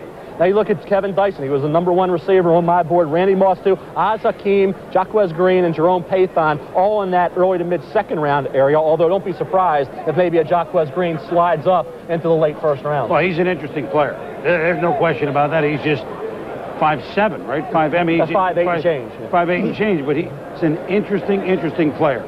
As Tennessee mulls it over, they have four minutes to do it. They will continue to mull it over. They will send the card up to the. You know what? We had all the play. We had a 21 nothing lead until until you showed up. The momentum's lights starting go go the other out. way now. I'm getting. They're throwing, showing me defenses that See I what haven't happens when you have two quarterbacks? I mean, it just, it, it always, something happens Yeah, but when the you get momentum's starting to go the other way now. I want to get back to his question. Which There you go, was? but I don't remember it though. when did you start to see the light in the NFL? Is what I asked. Well, I'll tell you what happens. You know, with these young quarterbacks, you know what's going to happen with these young quarterbacks? Good They're gonna- they're going segue. to see Joe and I doing this. They're going to think this is easy too. Well, after after about uh, 12, 14 years, they can jump up here. We'll be ready. To, we may be ready to go in about two hours, as a matter of fact. All right, now we're going to go around the league. Lots of things happening. To get you caught up, let's start with Mark Malone. The young gentleman that will be manning the quarterback position for the Colts will be Peyton Manning. The Indianapolis Colts make him the first selection overall in the NFL draft. Their next selection will be the second in the second round, number 32. Look for them to take either a corner or a wide receiver. Now let's send it out to Mike Golic. Here in Arizona, a couple of days ago, I talked to their top pick, Andre Wadsworth. He said he'd love to be a Cardinal because his college jersey number 58 was available. Well, he got his wish. He is a Cardinal, and as you see in the war room here, Vince Tobin handing out schedules for next year with Jake Plummer on the front. Maybe Andre Wadsworth will be the next picture on the front of their next year's schedule. Send it over to Chris Myers. Here in Dallas, the Cowboys had a chance to trade down, but with that eighth pick, they drafted defensive end, pass rushing defensive end Greg Ellis out of North Carolina. The Tar Heels' all-time sack leader, Lawrence Taylor, remember, played at that school. What the Cowboys liked most about him was his character. His college coach, Mack Brown, said, hey, if I died tomorrow, I'd want this guy to adopt my kids. That's uh, Chan Gailey, not Charlie Chan, with number one owner Jerry Jones. We'll keep an eye on things in the war room. Now let's go to Andrea Kremer. Here in Jacksonville, the Jaguars fulfilled a need with the ninth pick by selecting running back Fred Taylor from Florida. They have a pick coming up at number 25 and they could be looking for defensive help, particularly cornerback. Tom Coughlin said he's a little surprised it's been so quiet with no trades. When I asked him why, he said, people are asking for the moon. Now let's go to Solomon Wilcots. Here in Cincinnati, the Bengals finished last season near the bottom of the league in at least six defensive categories. So they come out and use their first pick to take linebacker Takeo Spikes from Auburn. They had hoped to see Aaron Simmons, I should say Anthony Simmons on the board, but he is now gone. So they will turn their attention to Brian Simmons, the linebacker from North Carolina, or the cornerback Terry Fair from Tennessee. Now let's send it out to Sal Paolantonio. Here in New England, the Patriots have two picks coming up, number 18 and number 22. And offensive coordinator Ernie Zampese has got to be pushing offense. The next candidate on the board, Robert Edwards of Georgia, the running back, could be the heir apparent to Curtis Martin. We'll have to wait and see. Now let's go to Chris Mortensen. Jimmy Johnson said Friday that he didn't think Randy Moss would for, fall to the Dolphins' 19th spot. So he made a trade with the Green Bay Packers. He's gone from 19 to 29. Now, he obviously knew the Raiders are trying to trade up to get Randy Moss, but what happens if Moss goes to 29? Does Jimmy take him? Let's go to Hank Goldberg. I can't answer that either, Mort, but I know that in Green Bay they're looking for defense with that 19th pick. However, with the rush of defensive players being selected, Ron Wolf, if the guy he wants isn't there, might trade back down to get extra picks. Let's go to Linda Cohn in Charleston with Randy Moss. Obviously, mood here is of disappointment, but there's positive uh, feelings in the room, and uh, there's a wait-and-see attitude, according to Moss's agent, uh, Bus Cook. Uh, again, the Raiders and Cowboys said to be working on something, but Bus Cook hasn't heard from them within the hour. Back to you, Chris Berman in New York. All right, Linda and gang, Tennessee has made their selection. Let's head up to the commissioner. With the 16th uh, pick in the first round, the Tennessee Oilers select a wide receiver from Utah, Kevin Dyson. Kevin, you got to go with what? Tumbling Dyson?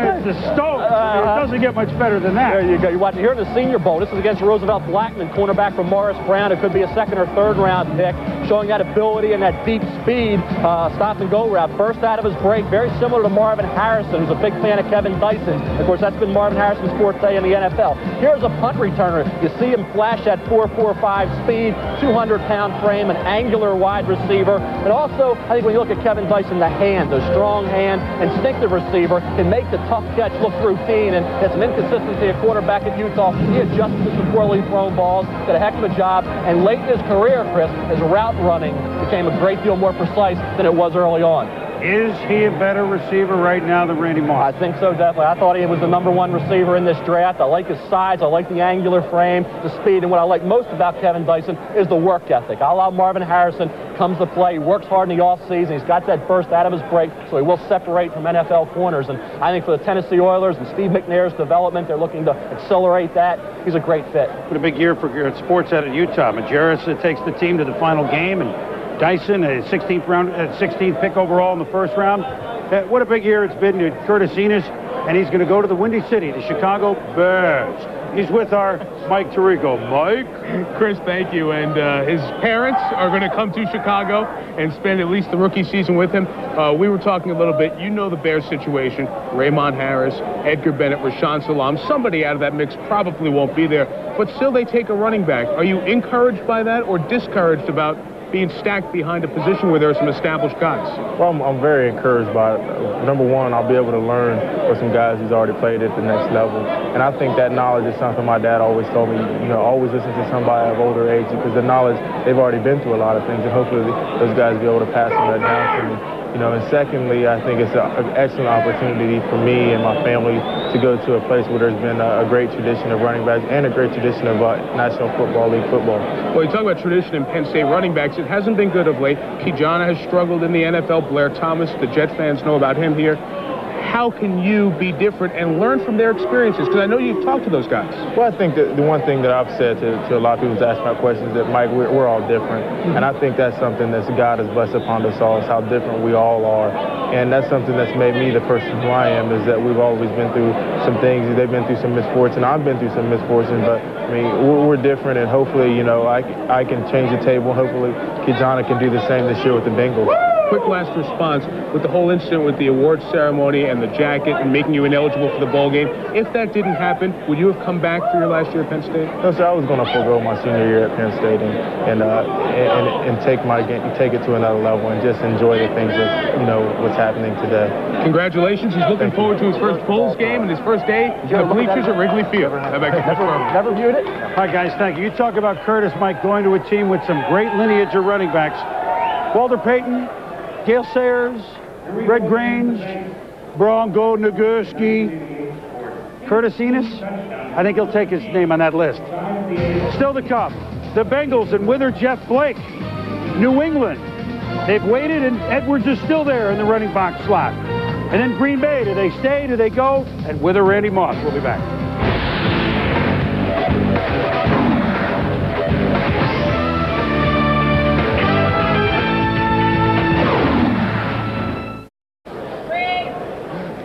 We're back here at the theater in New York. Uh, the Bengals have their second first round pick. They took Takeo Spikes, linebacker Auburn. Now four picks later, here's a pick they got from Washington in the Big Daddy deal. Let's go up to the commissioner.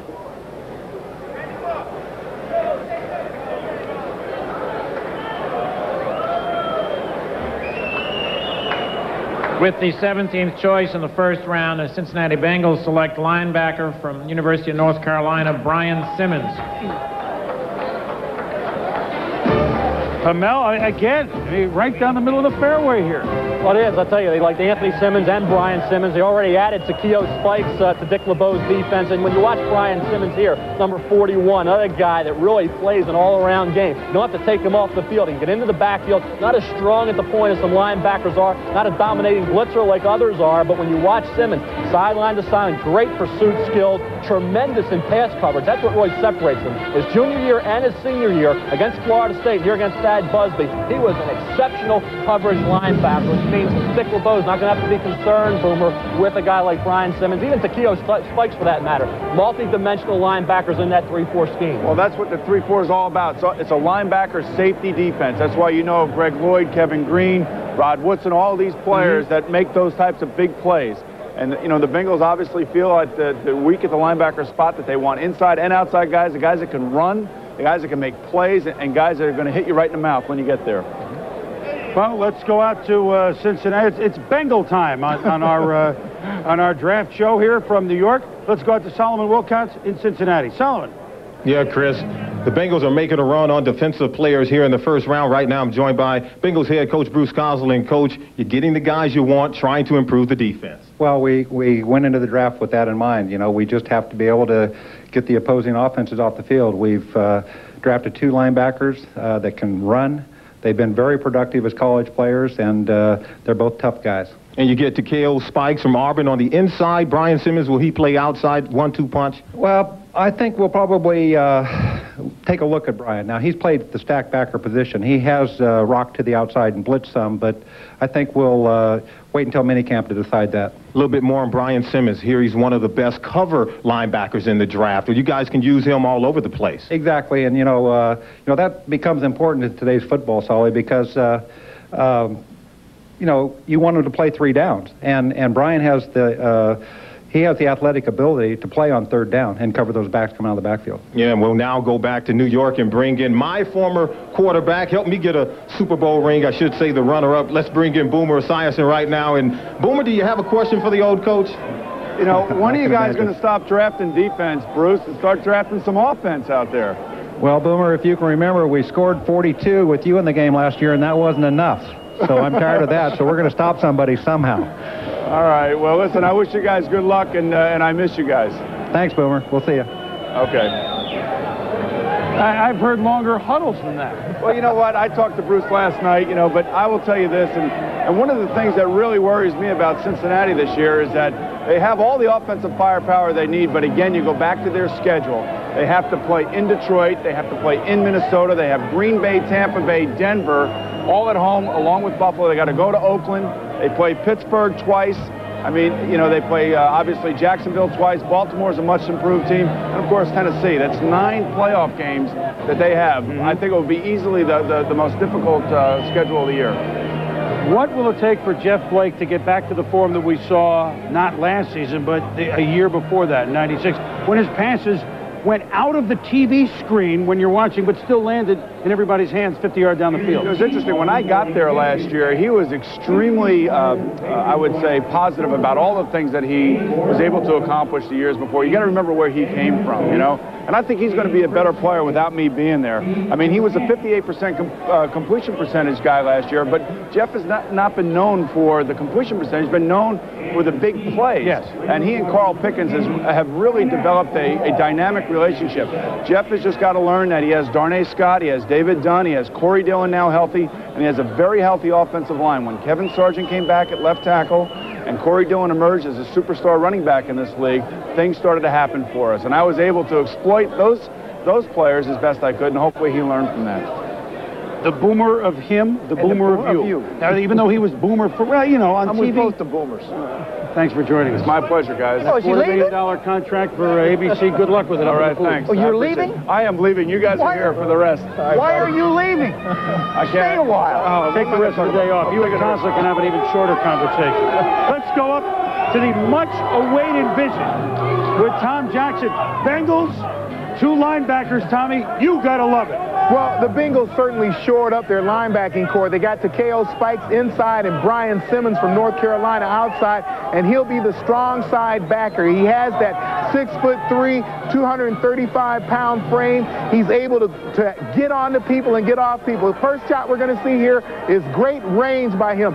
Realize that one of the guys he runs by right there is All-American corner Dre Bly. Then watch him control the tight end here from outside. Tight end actually has the angle on him. He gets him, stands him upright, finds the football, and then gets rid of him. I think that that is probably the most difficult position to play in football is the strong side linebacker. I tried it for one year and couldn't quite make it. As we see Jack get down here, Jack McKiernan, the center from Rutgers, and he's not going to hurt me, but Jack's going to try to hook me as a tight end. I try to get control of him right here. The most difficult thing in football is to control a player for those three steps before you get rid of him.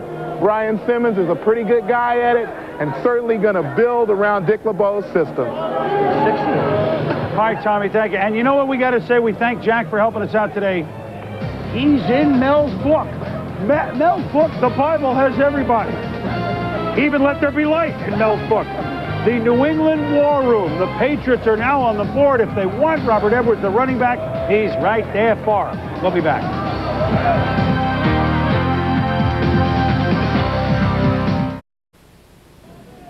With the uh, seventh pick in the first round, the New England Patriots select Terry Glenn, wide receiver, Ohio State. Everybody has their own opinion, but the organization picks the player. Terry Glenn's selection in the 96 draft put Bill Parcells and owner Bob Kraft at odds. But the friction didn't affect the Tuna's coaching style or the success of the Patriots. Led his team to the AFC Championship before losing in the ultimate game to the Super Bowl to the Green Bay Packers. But the animosity was boiling over. They want you to cook the dinner. At least they ought to let you shop for some of the groceries. So the Pats did their own shop and got Pete Carroll. I just think it's an ideal situation. Parcells took the Jets job and in week two met up with his old team in Foxborough. The Jets ended up losing a nail-biter in OT. And Parcells was able to land one of the Patriots' biggest fish. Coach Parcells is a, a coach that I enjoy playing with. I, I see uh, the New York Jets as a team of uh, great growth. Well, as a result of Curtis Martin, re- Martin rejoining his old coach, Bill Parcells in New York, the Jets are on the sundial for a while. They will sit as New England grabs this pick, the 18th pick, which was one of two draft choices that they got uh, because of the signing of Curtis Martin. They got a one and a three. They have six of the first 83 because they have the Jets' second round pick. That's part of the Bill Parcells deal negotiated between the two teams at Commissioner Tagliabue a year ago. The Jets, another story, have recouped its two, but so the Patriots have two ones, two twos, two threes. It's like a Lawrence Welk in double. And now let's go up to Sal Paolantonio in New England. Sal?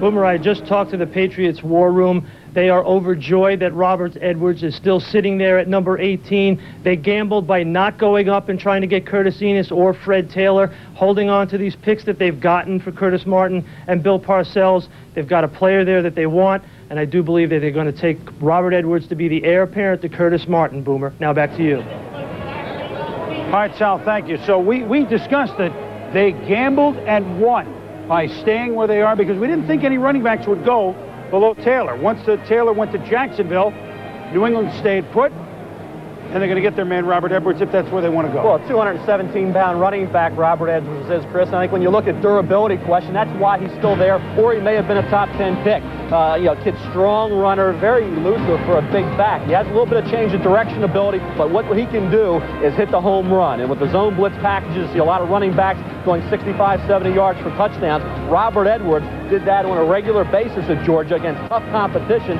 in the SEC. You see here, going the distance, taking it into the end zone. I think this is something that he provides for a 217-pound running back. Can catch the football, help in blitz pickup in terms of uh, blocking. I'll tell you what, when you look at this kid and you see time after time, and this highlight package is really accurate in terms of the way he played when he was healthy. Against Tennessee, would have maybe had 300 plus yards had he not gotten hurt in that particular game two years ago. He's a talent. What he has to do is prove, just like Robert Smith did coming out of Ohio State, that he's durable enough to play 16 games in the NFL. Well, there's some decent lineage, Mel, out of Georgia. Uh, certainly Terrell Davis, MVP of the Super Bowl in his hometown, and boy, a six-round pick. I mean, that might go down as all-time as one of the classic lower draft picks in the history of the NFL. Uh, Garrison Hearst now coming into his own, although a couple of teams later, not Arizona or Cincy, but a very good player now for San Francisco. Rodney Hampton was a was a key cog for the Giants, although he'll probably be playing elsewhere next year. And of course, Herschel Walker. So how about them dogs? They hope that uh, Robert Edwards, you know, can continue the Georgia lineage. The pick is now in. Let's go up to the commissioner. See if New England gets their back.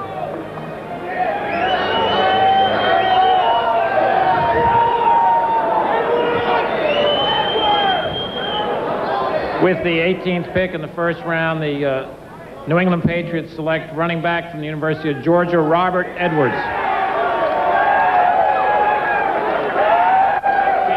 There- there's Patriot fans here as well as Jet fans are holding up signs. Bill, thanks for the picks. Well, they got their back. They got their back, but also they had Sedrick Shaw last year. So, I mean, they've got two very young backs. Derrick Cullors also there as a running back. This is a football team that is pretty set in most places. What they're doing now is they're stockpiling and building for the future. That's why New England doesn't want to get rid of a lot of their picks. They didn't want to give up the house to move all the way up to Enis. If you look at Edwards and Enis, you can almost look at Manning and Leaf. You know what you're getting with Enis, you know what you're getting with Manning. With Edwards, if he stays healthy, there could be a greater upside as there is with Ryan Leaf. So you've got a similar situation in the running back sit- uh, part of this draft that you do in the quarterback part of it. A little bit of the unknown in this guy. Yeah, but if, if the unknown becomes known, the Patriots uh, have are certainly a serious contender to get back and represent the AFC in the Super Bowl. When we return, the Heisman Trophy winner, now Raider. Charles Woodson will talk with our Mike Tirico and a draft update. Please stay tuned.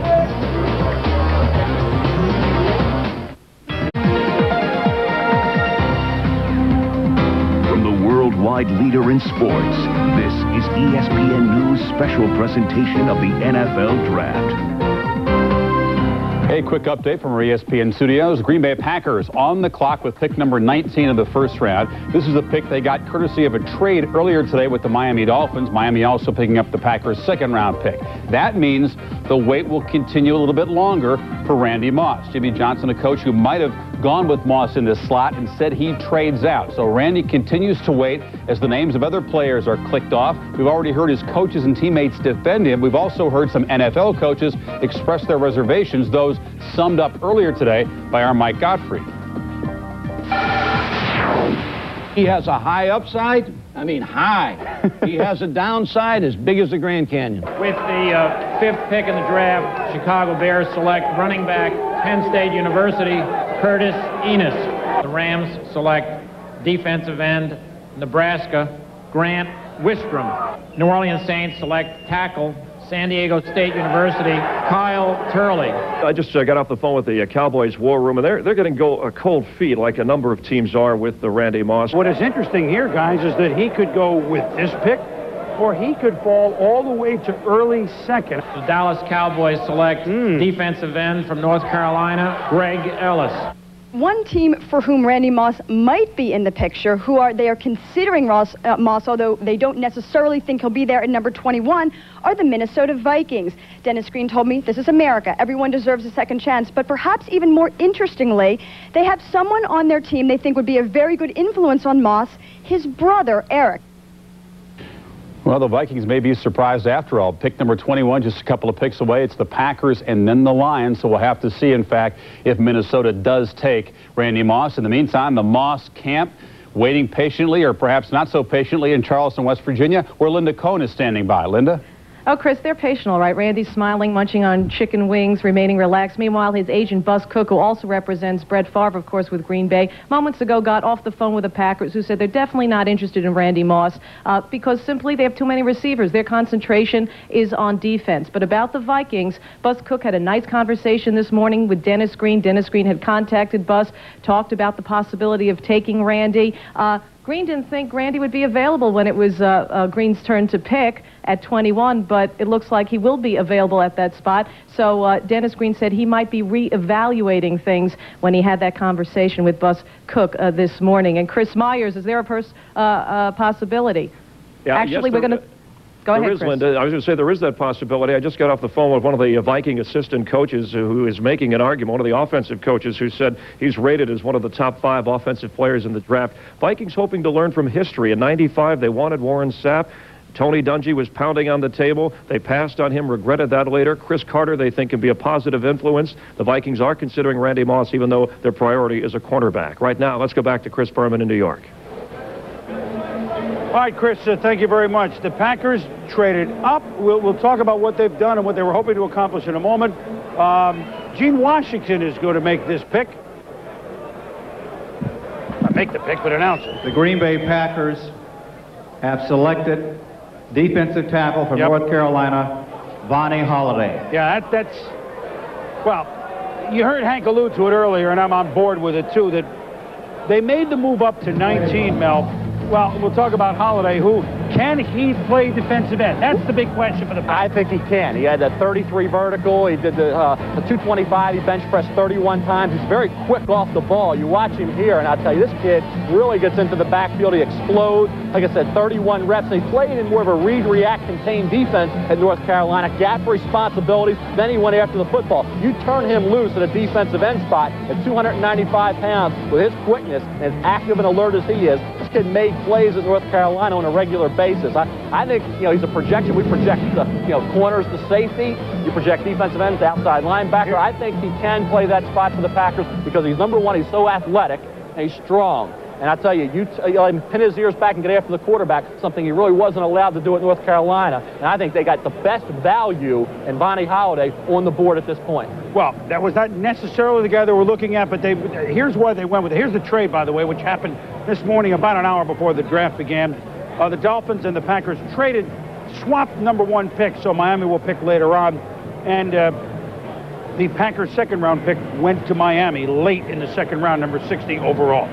Here's what's facing the Packers, and you got to remember that even though they've lost six players due to free agency, uh, they feel that their young guys, for example, Newsome was hurt last year and now will play corner, the spot that Doug Evans occupied, and they feel that their secondary with Darren Sharper stepping in for Eugene Robinson, who unexpectedly was signed away by Atlanta. They can line up right now as defending NFC champs. What they saw in the Super Bowl was a winded, heated uh, defensive line. We all saw it. They're worn down by the Broncos, and they lose defensive end Gabe Wilkins. And there's a big question. I don't know if Reggie White's going to play any more football. That hasn't been decided yet. I don't think he's going to. So they need defensive end help, and that's where Holliday fits right in. Because remember, this is a team that wants to get back to the Super Bowl, so they want to get a guy in that will start right now. Well, there's always the possibility. You've got flexibility. I think you've got a little flexibility with Santana Dotson. He is such a great competitor and a terrific defensive lineman. In spots, the way Fritz Shurmur likes to move things around on defense, you could possibly move him outside. And don't forget, Fritz Shurmur is the master of massive types of defenses, from 5-2s to 2-5s to 3-4s. You could see a little bit more 3-4 out of the Green Bay Packers also. which would solve that problem. Well, Joe and Chris, I thought, you know, when you look at Vonnie Holliday, it wouldn't have shocked me back a month, two months ago if the St. Louis Rams took him at six. I thought he was one of the top 10 players in this draft. I thought he was on a, a par with Wistrom. I think when you look at the Green Bay Packers, how he fits in, I think, you know, he's a heck of a pick. Moving up, you're not going to get him if you remain where you are if you're the Green Bay Packers. You get that versatility. I think it, this is a choice that for John Dorsey and for Ron Wolf, they did a heck of a job. You, you, wonder why teams are in Super Bowls because they make good moves. And whether the right player slid or not, Vonnie Holliday was not going to be there late in the first round. So they will have a holiday in Green Bay after this draft, right? well, they're having a holiday in uh, Oakland because once again a Heisman Trophy winner will wear the silver and black like Plunkett and Marcus and Bo and Timmy Brown and Desmond Howard. And now it's Charles Woodson on his way to Oakland. He's with our Mike Tirico. Michael. Yep, just like Desmond trades in the maize and blue for the silver and black. There were some media reports about attitude questions from teams with you because you left the combine a little bit early and some workouts a little bit early. Did you hear any of those questions from teams? No, none of the teams brought, brought any of that stuff up. I mean, it was just stuff that was brought up in the media. It was basically all of it was untrue. I mean, I'm, I'm not a bad person. I don't have a bad attitude. I just want to get in and play hard and play good football, and that's it. You have a DB's attitude, which is aggressive, and the Raiders can use that. We're going to show everyone where the Raiders stacked up statistically on defense last year. It was 30th all the way across the board in the three positions you don't want. Yards, yards passing, yards receiving. You were out there and met with some of the defensive coaches. What were their impressions of how you could fit into their scheme? One thing, basically, you know, they just want to get me in there and just teach me the system. They just got uh, Willie Shaw out there. He's a good defensive coordinator out there. You know, he does a lot of the things that we did at Michigan. So hopefully I get out there and uh, just, just make an impact and hopefully get some early playing time. Finally, you know, the one thing we all did watching Michigan games, we wanted to see where you were going to go. Were you going to line up on offense? Will you line up on offense? And have you talked to the Raiders about that at all? We talked about it briefly, but like I said, I just want to get the defense down, and uh, hopefully if the offense stems for that, then I go over there on that side of the ball and uh, get a couple of touches on the football. Was Al Davis as cool as you thought he'd be? Oh, he was too cool. He was too cool for me, man. Congratulations, Charles. Thanks a lot. Charles Woodson from Michigan to the Raiders. We send it to our ESPN studios and Chris Fowler. Chris? Well, Mike, thank you. I think Charles making a key point. None of the teams concerned about his attitude, which has been the report of, or the subject of media reports. Part of it got started at a Walter Camp Football Foundation dinner that, that I emceed. One of the former officers of that club kind of popped off to a small Connecticut newspaper about his displeasure with Woodson's attitude, and suddenly this became a monster national news story. I can tell you, know Charles pretty well. Most of that stuff is unfounded. I think an NFL team that gets him into camp will find a guy, as he said, that's just eager to play good football, is respectful, is a team guy. And I'll tell you what, the coaches that watched him at Michigan, the first day of practice, put him as a converted running back in high school to defensive back, and Vance Bedford, his position coach, remembers thinking at the time, this guy is a terrible corner. This guy will never make it as a defensive back. Here he is, Heisman Trophy winner, and now the number four pick overall. The Detroit Lions are on the clock in the first round as the NFL draft continues after this from New York, Connecticut, and all points.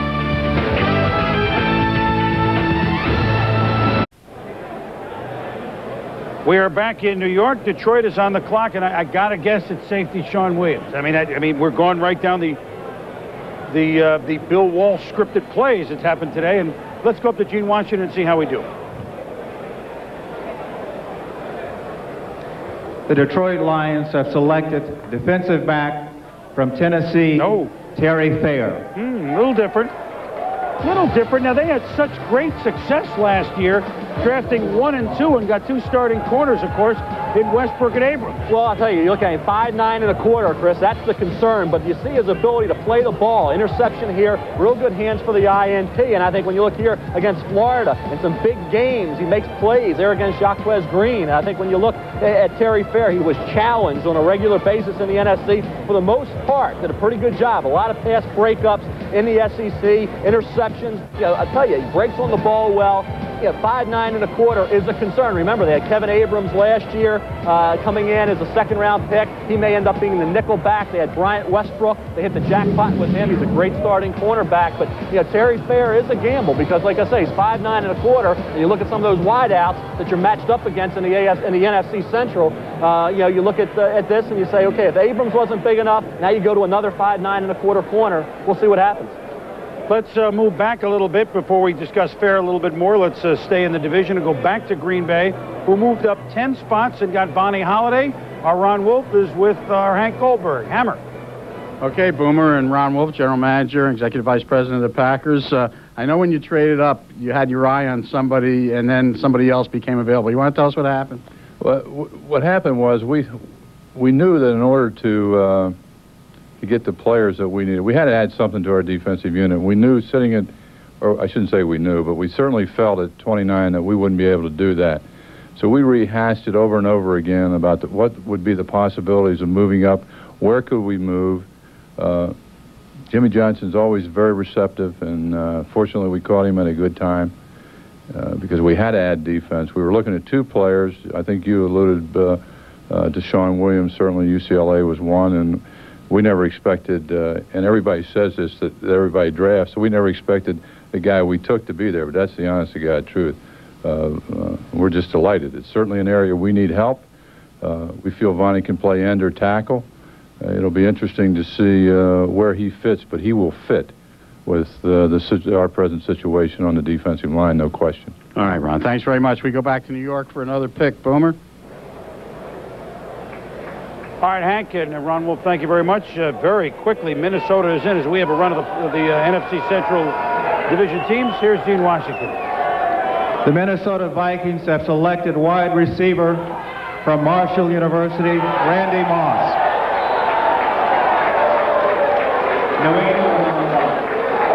There you go. Carter, Jake Reed, Randy Moss, a healthy Brad Johnson, Big. Robert Smith signed, McDaniel and Steussie signed up front.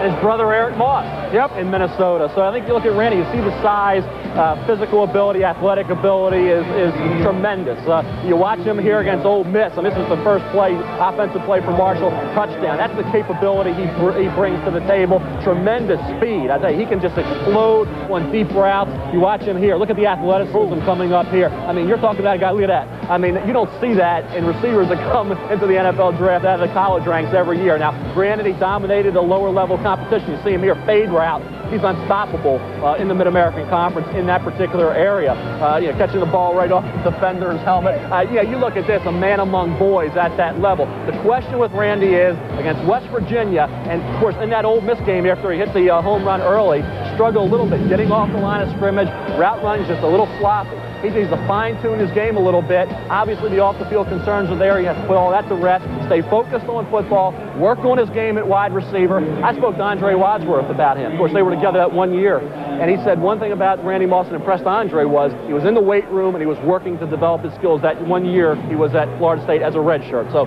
if he stays focused, sky's the limit for a kid with his physical and athletic ability. Hey, offensive weapons in Minnesota, Joe. We just exactly. mentioned them here. I mean, let's take a look. If you if you see a big grin in Minnesota, it's Brian Billick, the offensive coordinator. He's got to be grinning ear to ear. Andrew Glover at tight end, all these wide receivers. You look at the receptions. Cris Carter with 89, Jake Reed with 68, Chris Walsh with just 11, and Hatchett with just three. But now you bring in a Randy Moss. You go three wide. You've got the three biggest receivers in a division where they like to throw the football anyway. I think the one thing that Randy Moss brings now to the Minnesota Vikings is he brings a real deep threat down the field. You, you look at Carter, you look at Reed, both of them big guys, both of them mid-range big receivers. Now you've got somebody who adds a stretch to the field. You start stretching the field out with him, you can do an awful lot with those big guys underneath. So, and, and I also think we talked about this if he'd gone to Dallas very positive influences around him. We talked about a Michael Irvin, I believe can be a positive influence, and a Deion Sanders. Now you look at Reed and Carter and the guys that have been put together on that Minnesota Viking football team. You've got a very good, positive group for him to be around. I go back to the Detroit Lions. Terry Fair, five nine and a quarter, has to match up against a Reed, a Carter, and now a Moss in a division where you had Abrams, another small corner. Yeah, but I, I still think I think quickness can negate size. Like I said, you can't be perfect with the ball. Guys can get in front pretty good. Well, five nine and a quarter cornerback covering Against Randy Moss five, and Jake Reed and Cris Carter. Good luck, Joe. He better be able to run at least, right? One of our quarterbacks, and, and, we have a lot of quarterbacks who, who play with a, with a guy even taller and more angular than, than Randy Moss. I'm talking about Harold Carmichael. Let's go up to Ron Jaworski. And Jaws, how does Moss fit in with Minnesota? Obviously, they can push the envelope through the air. Yeah, Boomer, from uh, an athletic standpoint, it's a great fit because he's got the size in the red zone to go up and get the football. He's got the size and the speed to come across in the red zone and catch the, the delay routes underneath and run him in the end zone with his great ability. But where I see a problem, he's kind of a freelance route runner. He likes to do things on his own. And as Joe mentioned a moment ago, Brian Billick likes that disciplined timing and rhythm passing game where the quarterback sets it three steps, delivers the ball in two seconds, or excuse me, 1.5 seconds, and the receiver runs out. And I'm not sure Randy Moss the kind of guy that's going to assimilate all those little nuances of a timing and rhythm passing game quickly. But he certainly has the ability to do so. And I'll tell you, three wide, when you look at that, they got some real talent, Boomer. It'll be interesting, Jaws. It, it, it will be interesting to watch. And that team is one of the most fun teams to watch anyway. And then Brad Johnson got hurt late, and, and then they, you know, they, they are a, a, a team that that will really contend next year, even though there are four playoff teams from the NFC Central. Let's go out now to West Virginia to Linda Cohn, who is with Randy Moss. Linda. Chris, his mother says it's fulfilling a lifelong dream for him. Randy Moss playing along with his brother Eric, and it's going to be with the Minnesota Vikings. Congratulations, Randy. Uh, did you think it was going to take this long, though? No, I really didn't, but um, we all sat in the room looking at the TV, and uh, we just waited on the right call to be made. So uh, Coach Green made the right call, and I'm happy. Now I can just uh, be there with my brother. Minutes ago, you were talking with Dennis Green, and what did he have to say? What did he tell you? He just said, um, really, just to be encouraged and uh, just let all that stuff and hype just, uh, just still just keep it in the back, and uh, let's just, you know, concentrate on what we're doing best. And he's going to bring me in to play ball, and that's what I'm going to do. Have you talked? Have you had previous discussions with your brother about the Vikings or the possibility of joining him there? I don't think my brother expected me to be uh, late in this round, but um, I guess you know this uh, was made out for the best, and uh, I'm just happy and very lucky. Randy, you told me yesterday that if you knew all this kind of talk about uh, all the negatives coming out, the weeks leading up to the draft, you told me if you knew all this was going to happen, that maybe you would, you know, have thought differently about coming out after your sophomore year at Marshall, and you might have considered staying another year.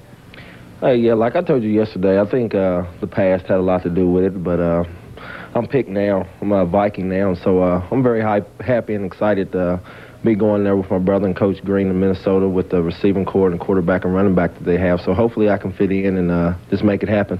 You also told me that uh, you have something to prove, especially to the teams that passed you by. Does that still hold true? I'm not really holding a grudge, but I think with the kind of excitement I bring to a football uh, game or team, uh, they uh, passed me up. So I don't really, like I said, don't hold no grudges. I'm just happy now that I'm a Viking. So I'm just going to make the best effort to go in there and just hopefully uh, fulfill my dream, and that's to play and win games. Do you feel you have anything to work on at the next level? I think just listen to all the analysts. Um, they've really said a lot, and I took it in my head, and uh, they made a point, you know, these certain things that this guy has to work on to be successful in the league. So uh, I'm just taking it uh, beyond, you know, to another level and uh, just do what they said and hopefully turn out to be the best. You had a reputation of teaching young receivers at Marshall University some of the things you learned in your one year at Florida State. Are you going to welcome that from the veteran receivers like a Cris Carter and such at the Minnesota Vikings? Almost definitely. Uh, seeing Chris and uh, Jake Reed down there doing uh, the things they do best, they score touchdowns, and I think I was looking at the receptions uh, for the whole year, and uh, hopefully I could just fit in to, to their mix, and uh, like I said, just make it happy. I think I'm about, about winning championships, and I just want to come to Minnesota and hopefully uh, put them back in the, the game. Randy, thanks for your time and congratulations. Randy Moss, a new member of the Minnesota Vikings. All right, Linda, congratulations to Randy. We know now the Minnesota Vikings are no Rolling Stones because Rolling Stones don't gather no moss. the Vikings have gathered Randy Moss, and when we return, we'll talk with Dennis Green on the, uh, the video conference phone, and New England is on the clock. So now the plot has thickened. We shall return. Like a Rolling Stone. Because, you know, you know how many times they've tried to presentation of the 1998 NFL Draft You know how many times they've brought tried to you by AC Delco Automotive Parts. AC Delco. If you're not asking for it, you're asking for it. And by Taco Bell. Want some? Welcome back to New York. And so, uh, one of the more intriguing sagas of the first round and now has an ending.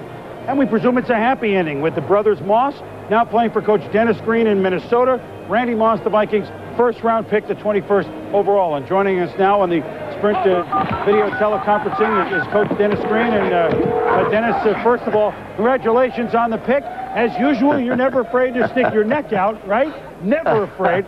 Um, Well, the bottom line- When did you think Well, that let me say Randy. Moss would come to you? Uh, probably last November, because I Oh, think in the National Football League. Well, let's face it. I mean, this is old, old news. I mean, this is not like it happened yesterday, and that's been our philosophy. We'll take the best player on the board. So last November, I thought it could be, regardless of whether we're picking 30 or further down, that uh, we could get the player. Dennis, how much in knowing his brother and having him play for you did that play a role? A huge role in, in you making this pick this way? Well, we know more about uh, Randy Moss than anybody else. We have his brother here. We spent a lot of time talking to him. We've got probably the best spiritual leader in the National Football League, and Reverend Keith Johnson, who's ahead head of cause. We got one of the best players, Cris Carter, in the National Football League as far as working and trying to get guys to understand what it takes to be uh, true to yourself and understand yourself. So we have no doubts about Randy Moss. What we think is this. Randy Moss teaming up with Cris Carter and Jake Reed, with Robert Smith in the backfield running the football, and Andrew Glover going down the middle will give us the most potent offense in the National Football League, and that's why we drafted him. Will there be, and I know you just drafted him, Dennis, so I mean, you don't have the answer to the question yet, but will there be special provisions in his contract, including maybe drug testing that maybe you're not in other players' contract? Is that part of an, of, a, of an agreement? I mean, you've talked with him before, obviously. No. No, that, why would it be? Everybody in the National Football League has drug testing. I mean, I think this, I, you know, when I go back to this, it's plain and simple. This is a young man who's a great player who made some mistakes in his past. He was 18 and 19 years old. He's still only a 21-year-old young man. And we think this, that his life is ahead of him. We're taking the high road. We're saying we got a full glass of water here, and we got a football player who's going to mean a lot to our football team to help us win a championship. Hey, you know what I hear in your voice? You know, we just visited a couple of weeks ago. I hear and I see excitement. I mean, you're excited about this, about going to re- redo the playbook, right? Well, I am simply because what we have now and what we haven't had in a few years is a big receiver that can go on the outside opposite of Jake Reed, with now Cris Carter working real big time on the inside. And so with that in combination with Robert Smith, we're going to be there. Dennis, this is Joe. Does it also give you that opportunity to take the ball down the field a little bit more? Chris and Jake, they're, they're fast, but certainly not in this type of a category. It really can stretch the field for you, can it? Well, I, I think it can. You know, we've had so much trouble with Herman Moore throughout the years, and Herman runs a hitch and a hook and a go. I mean, Randy Moss can do a lot of things besides just a hitch, a hook, and a go, but that is sufficient when you talk about what Cris Carter can do on the inside and Jake Reed on the outside. And again, with Rob, us putting the kind of money with Robert Smith, it only makes sense for us to do everything we can to put the defense in a situation where they cannot defend the Minnesota Vikings. Dennis, this is Chris again. Now, you passed a couple of years ago on Warren Sapp, but every, every situation is different. And there's a question with some about coachability uh, uh, of Randy Moss. You obviously, I'm guessing, don't feel that that's even an issue. Am I right? Well, it isn't. Well, we, we talked with Coach Bob Pruett. He doesn't. He thinks he's a tremendously coachable young man, and I think this. We know a lot about him. We don't think that's going to be a problem at all. We have a lot of players on our team that have had to develop and come on. He does too. No rookie player is going to go out and, and be the MVP in the National Football League. But we know this. This is a great talent, and that's really what it comes down to. So we're not going to be concerned about that. We know what he's going to do. He's going to come in here and help make us a lot better. Hey, you see Warren Sapp uh, twice a season, and you see what sort of a player Right. he has become, which isn't really a surprise.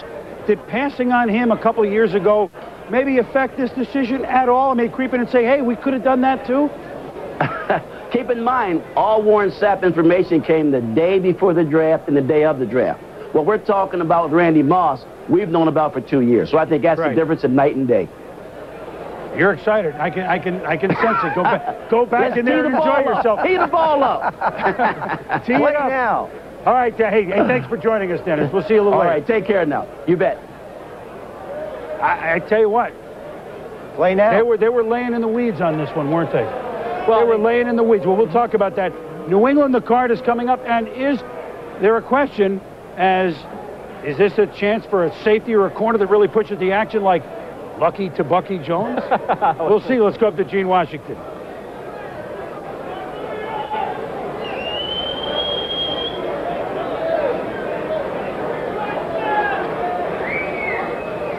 The Patriots have selected defensive back from Syracuse Tebucky Jones. Lucky to Bucky from Tampa New Bay is on the Britain. Connecticut.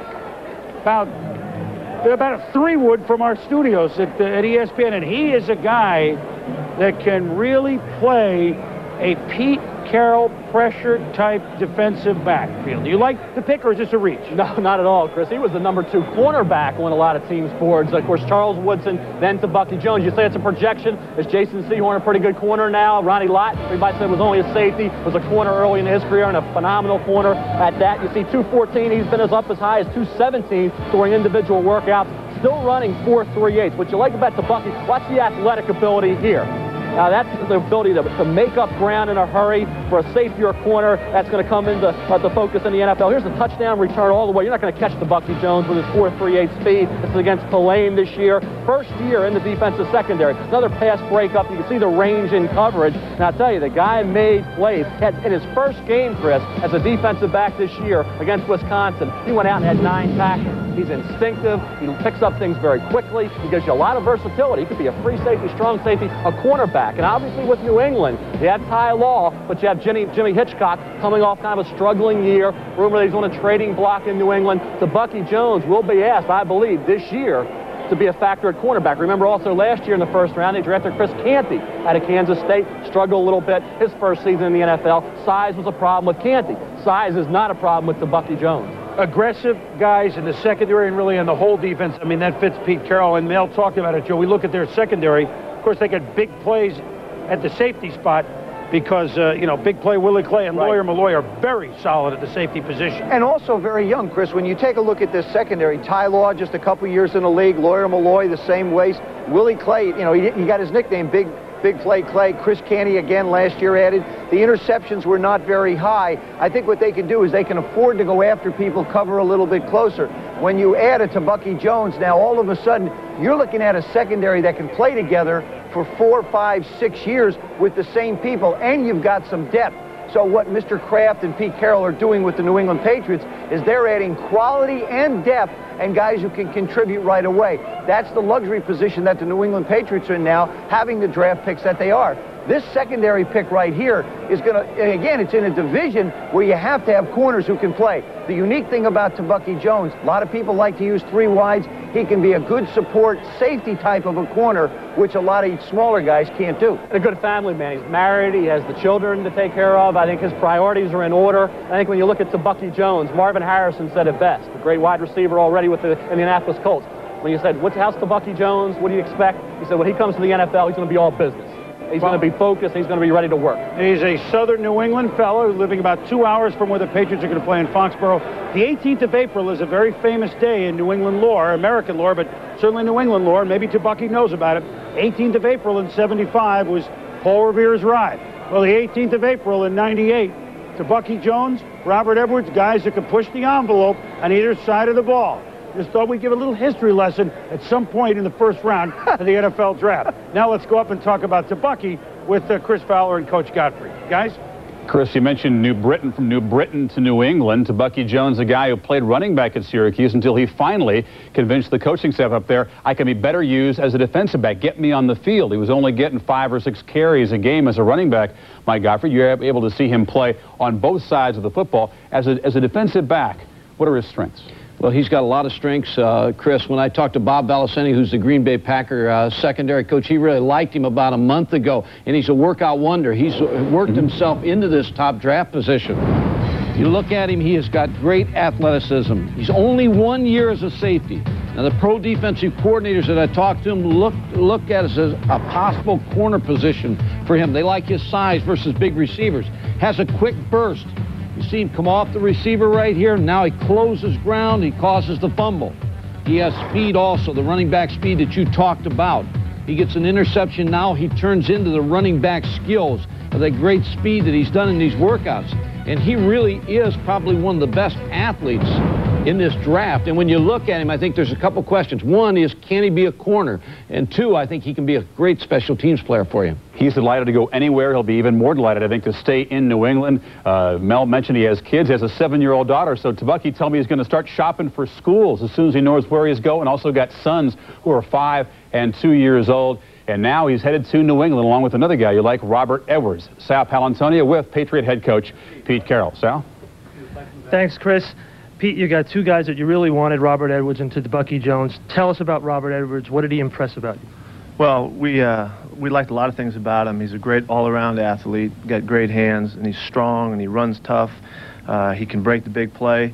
Uh, we, we, we really like his attitude and, and his uh, what, what he brings to our club. So we were excited about that pick. Now he had a foot injury a couple of years ago, an ankle injury. There are some critics out there who say maybe he's not durable enough to carry the load in the NFL. You worried about that at all? No, we, we investigated that thoroughly, and uh, you know we think he's he's fine now. He recovered and, that, and you know came back from it and played very well this year. So uh, he's very tough and pushed his, his recovery time as well. So we like that about him also. Tell us about Tebucky Jones. There was a recent contingent of the Patriots that went up there, worked him out. Uh, you like him. You like his size and speed. Safety or cornerback? It, he's a he's a rare player uh, for us to have an opportunity to pick uh, at this time. He's got tremendous, you know, physical skills, speed, size, and all of those things. Uh, but what I liked best about him is, is uh, his attitude about contributing to his club any way he could. And he was a great special teams player. He scored touchdowns on defense. Uh, he, has got a real supreme toughness that we love about him. And so uh, we're going to bring him in here, and, and I'm going to try to teach him everything I know about playing bump and run corner. And uh, we're going to make a corner out of him and see how that goes. And uh, we, we count on we're going to count on that happening. we know he can play safety as well, and he's and he's a very very good special teams player. So we're real excited to bring him here. Hitchcock on the training block. Uh, no, not not right at this time. We entertain offers. Well, there have been some phone calls on him uh, all throughout the off season, so we'll you know we'll continue to take calls on whoever calls on our, about our players. Thanks very much, Pete. Good. Let's go back to Chris Fowler in Bristol. Sal, thanks. Patriots two picks, two great athletes. What about a 220-pound corner with a 40-inch vertical jump and an attitude that will do anything to help improve the football team? Talking about Tebucky Jones. The Tampa Bay Buccaneers, successful drafts in recent years. They are on the clock as round one continues after this.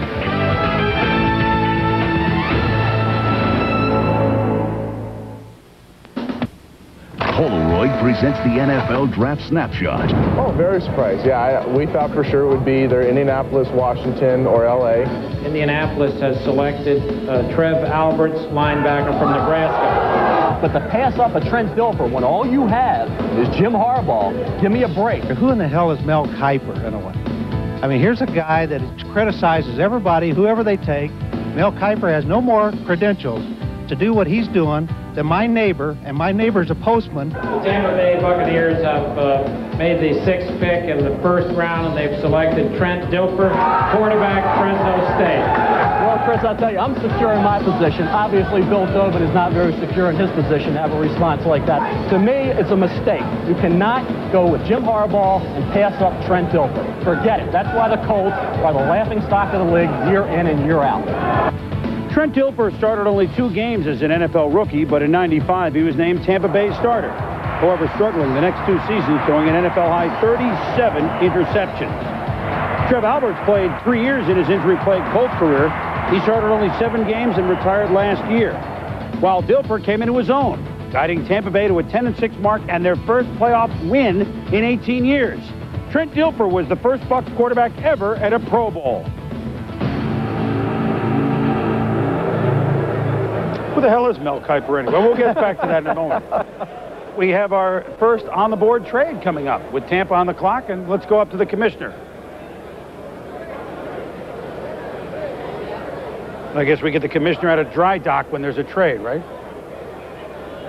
As uh, stated a couple of minutes, a couple of seconds ago, uh, Tampa Bay traded its pick to the Raiders, and the Raiders selected tackle from Florida, Mo Collins.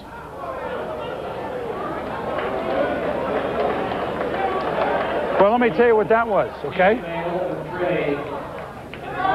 Let's, let's, let's, well, we'll get you the rest of the trade in a moment. Um, I'm trying to listen. Well, we're gonna. We Oakland has three second-round picks, so we're, we're gonna we're gonna get uh, this straight in a moment. But the Oakland Raiders have moved up to the 23rd spot and have taken Mo Collins. And I'll tell you what happened because this is a Bay Area bombshell. San Francisco across the bay has had their eyes on Mo Collins for weeks. He's now going to be playing in the Bay Area on the other team. Well, I'll tell you, you look at Mo Collins, and I see a guy who really came on as a, as a junior. Remember, he had another year of eligibility left. I think the game that really defined him was certainly against Andre Wadsworth, but you watch me at right tackle. Just a, a massive offensive tackle, a heck of a bookend, and a guy that I think, you know, when you look at him and project him into the NFL, should become a much better run blocker than he was at Florida. But certainly, that game against Andre Wadsworth, Chris, late in the year, where he really held Andre Wadsworth down, had a lot of help. He held the tight end in, he had max protection, but that game against against Andre Wadsworth, I think propelled Mo Collins into the first round and maybe affected his decision to leave Florida early, knowing that if you can dominate arguably the best player in the draft, or at least neutralize him, then that gives him an opportunity to maybe come in as a first-round draft choice. We so often find ourselves projecting so-called skill players into offenses. This is one where Mo Collins comes out of a Florida offense that is used to getting rid of the football quick. He's used to operating without people outside of him. All of a sudden, he goes into Oakland now where Jon Gruden's going to put in an offense where he's got a quarterback who gets rid of the ball quick and Jeff George. This is a case where you have an offensive lineman that actually comes out of a college system that fits very nicely into a professional system in Oakland. So it's a nice fit for him as well as an offensive lineman with a lot less things to learn than if he had to go to a, a longer drop back style of offense. Well, let's clean the trade up here for a moment. Oakland has three picks between you in the second round. They got 31 and 59 as a result of the Chester McGlockton trade. So they hold on to 31, but they give up their regular second round pick, number 34, and the pick that they acquired from uh, the Chiefs as a result of Kansas City two days ago or yesterday signing Chester to McGlockton. So Oakland has one second round pick left. Tampa Bay gets their other second round picks, and Oakland gets Mo Collins. For more reaction to Mo Collins heading to uh, the silver and black, let's go up to Chris Fowler and the coach. Well, Boomer Mo Collins becomes the third offensive lineman taken in this first round. Here's a guy who was playing against the highest possible college competition from a very early time in his career at Florida. Never forget the Fiesta Bowl. Collins very much overmatched by those Nebraska outside pass rushers as a young tackle there were not able to block anybody, and Danny Wuerffel got killed. But Mo Collins, as Mel mentioned, guys, progressed along, was able to play very well against Andre Wadsworth and those Florida State outside pass rushers later in his career. Guy likes to do a lot of talking as well as blocking, though.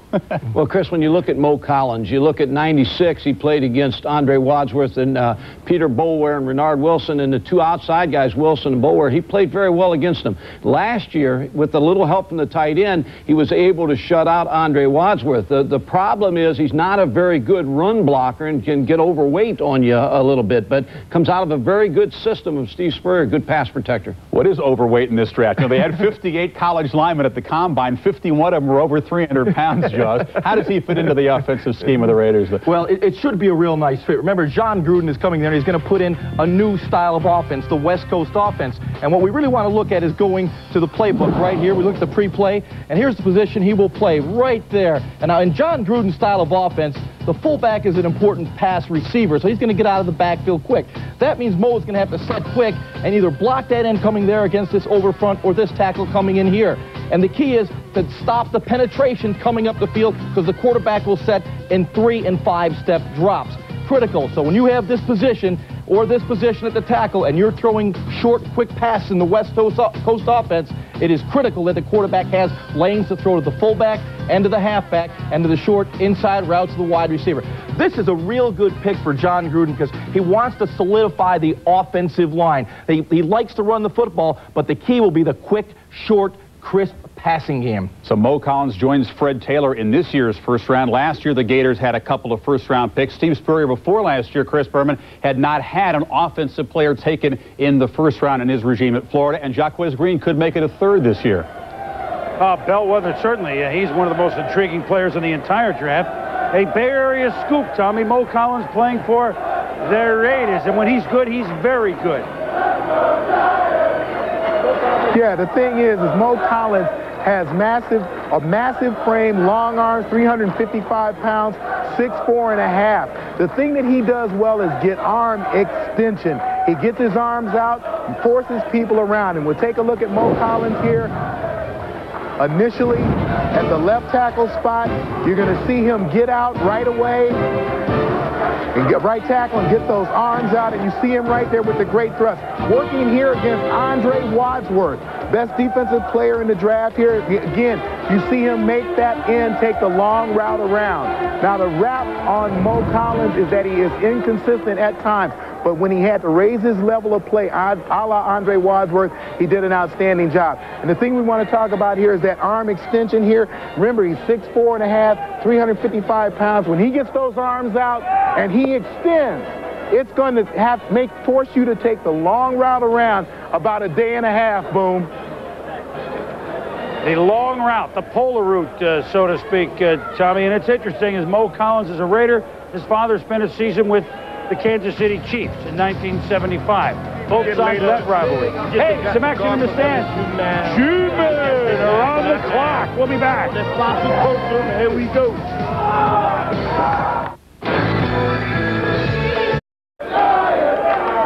The NFC Eastern champion New York football Giants are on the clock. They've made their pick. The fans will find out who it is. With the uh, 24th pick in the first round, the New York Giants select defensive back from UCLA, Shaun Williams. Value, value, value. A player that we didn't think would be in this spot, Mel. And I, I don't think that's where they were. They originally were headed. But when he dropped, he's a good value, wouldn't he? Well, I think when you look at the Giants, you say, well, the safety positions look pretty good. They have Sam Garnes, who, of course, was an outstanding fifth-round pick last year out of Cincinnati, but they lost Thomas Randolph in free agency, who was kind of their nickel back. And, of course, they, they're strong at corner with Sehorn and certainly with Phillippi Sparks. You watch Shaun Williams. He's an attacker, an aggressive uh, free safety. Uh, they're on the sack. He's a big kid. He's about 210 pounds, 6'1 and a quarter. He'll hit you. He's also a very good center fielder. And I think the all-around skills that Shaun Williams provides. In addition, when you look at him at 210, he has some pure cornerback skills, but he's all over the field. I mean, he's a guy, when you look talking to Steve Atwaters and, of course, what Ronnie Lott developed into after he moved from cornerback to safety, that's what you're hoping. That UCLA has had that great tradition at safety of developing NFL players, and Shaun Williams gives them a lot of versatility in terms of their nickel package and their dime package as a rookie. First uh, defensive back drafted in the first round for the Giants since 1983, Terry Kinard. Let's go to Chris Mortensen in Miami for some reaction. Mort? Well, uh, Chris, and speaking with uh, Ernie Accorsi, the new general manager of the New York Giants, uh, of course, he had assisted George Young the past few years. Ernie anticipated that this was very much a possibility. I spoke to him early or middle of the week, and he said, hey, if Shaun Williams falls to me, it's going to be tough to pa pass on him. He would probably be the highest rated player on the board, even though they needed an offensive lineman, Alan Faneca, uh, LSU, Flozell Adams, uh, one of the guys we were discussing. They even need a speed receiver like Jacquez Green. But he said Shaun Williams, too good to pass up, and Mel Kiper is exactly right. They need somebody to cover in nickel situations. Shaun Williams, I know uh, Ernie is thrilled to have him, Chris.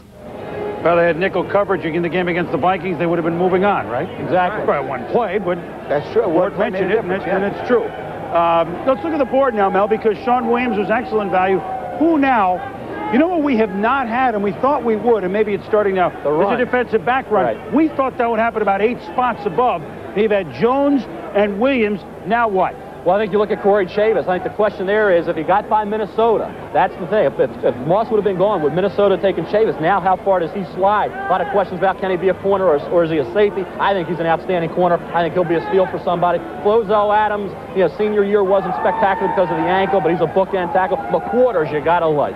I mean, versatile, was on the field 80% of the time, offense and defense. Victor Riley, if he becomes more intense and consistent, he's got some ability. Brian Kelly, you know, he had the, the subpar workout, then a better workout. Was it enough to recover and get in the first round? Robert Holcombe, you have to believe the Kansas City Chiefs Yes. will think very seriously about Robert Holcombe late in the first round.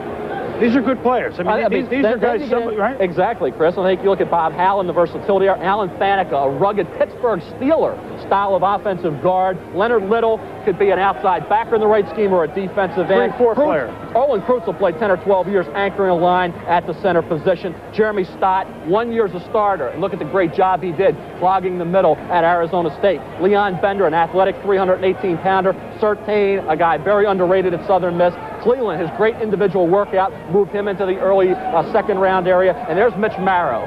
Interesting kid. You talk about the Ivy League. Last year, Marcellus Wiley, a very strong second-round pick for the Buffalo Bills. They really like his potential. I think when you look at Seth Payne, uh, draft choice in the fourth round to Jacksonville last year, this kid Marrow has been a workout warrior. You say, well, he didn't make a lot of plays as a senior. He had mononucleosis. He had a turf toe injury. As a junior, he played very well. But his workouts have been unbelievable. He's 285 pounds, and he can play defensive tackle or defensive end. I think Mitch Marrow goes in the early second round. You think so? Mm-hmm. From University of Pennsylvania.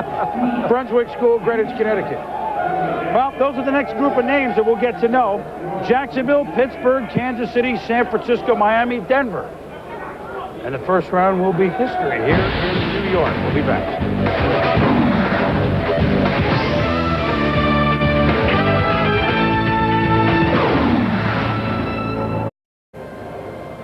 We're back in New York, and certainly a familiar sight to all football fans in New York is that man, George Young, uh, VP, general manager for the Giants for 19 years, years and years and years.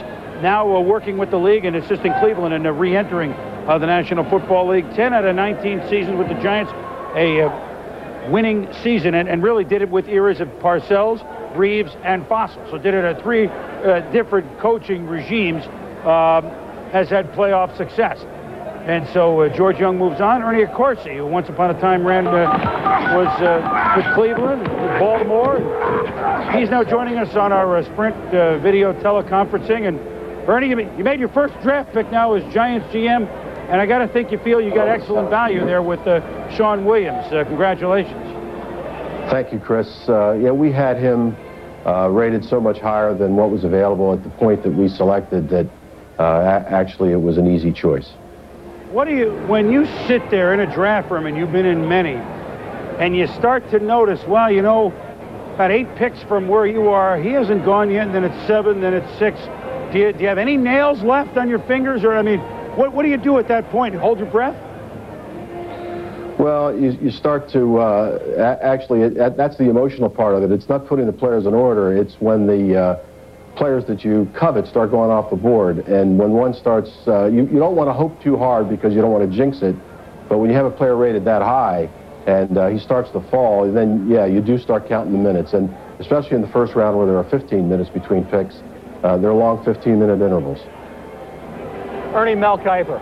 Ern, I just want to Hi, ask you, how you doing, Aaron? I just want to say, you know, last year in the first round, top 10 pick, Ike Hilliard. He had a great start in training camp, looked like he was going to have a great rookie season, onward to an outstanding career. Then the neck injury. What's his status right now, and how do you feel he'll be in 98? Well, we're very optimistic about him. He had uh, significant testing in the last four weeks, passed them all, has been given a complete green light, Mel, to participate in the entire off-season program and in the mini camps and for training camps. So uh, medically, he's, uh, he's recovered completely, and he has a champion's heart, as you know, so I don't think there's any question in our mind that, that we'll have him back uh, better than ever. Ernie, uh, this is Chris again. I'm not asking you to try and tip your hand in, into coming picks at all, but there looks to be, from afar, a real flux, a change in the running back situation for the Giants. Rodney Hampton, will he be back? Uh, Wheatley, will he be back? Will there be full-scale changes do you see come June? Well, Chris, we have LeShon Johnson, who we signed from the Cardinals, Tyrone Wheatley, Rodney Hampton, and of course Charles Way. Uh, and, you know, our feeling is that, that we're in pretty good shape there. I, that's not to say we won't add somebody else, but we have depth there. And actually, you know, we had uh, our bellwether was Hampton for so long, and he's been the leading ground gator in the history of the franchise. And, and what we're trying to do really, uh, because he missed most of last year, is to stockpile as much talent as we can there, and we, we still may add some more. So it really hasn't filtered out yet. We did give Rodney Hampton an opportunity to talk to other clubs. We thought he deserved that. We did not want to hold on to him to a point where if we decided that, that it would be best if he left, that there wouldn't be any time left for him to make a deal. So he is talking to other clubs. He's also going to talk to us. So it's still possible that he would, if he wants to stay with us and we want him, it's still possible that he'll remain a Giant. Well, Ernie, a uh, heck of a start here on draft day for you as GM of the Giants. May a player you're looking for uh, in the late second round fall from the middle second round. You're one for one on making the grab there. Thank you. Thank you, Chris and Mel. All right, we return Jacksonville with their pick, followed by the Pittsburgh Steelers.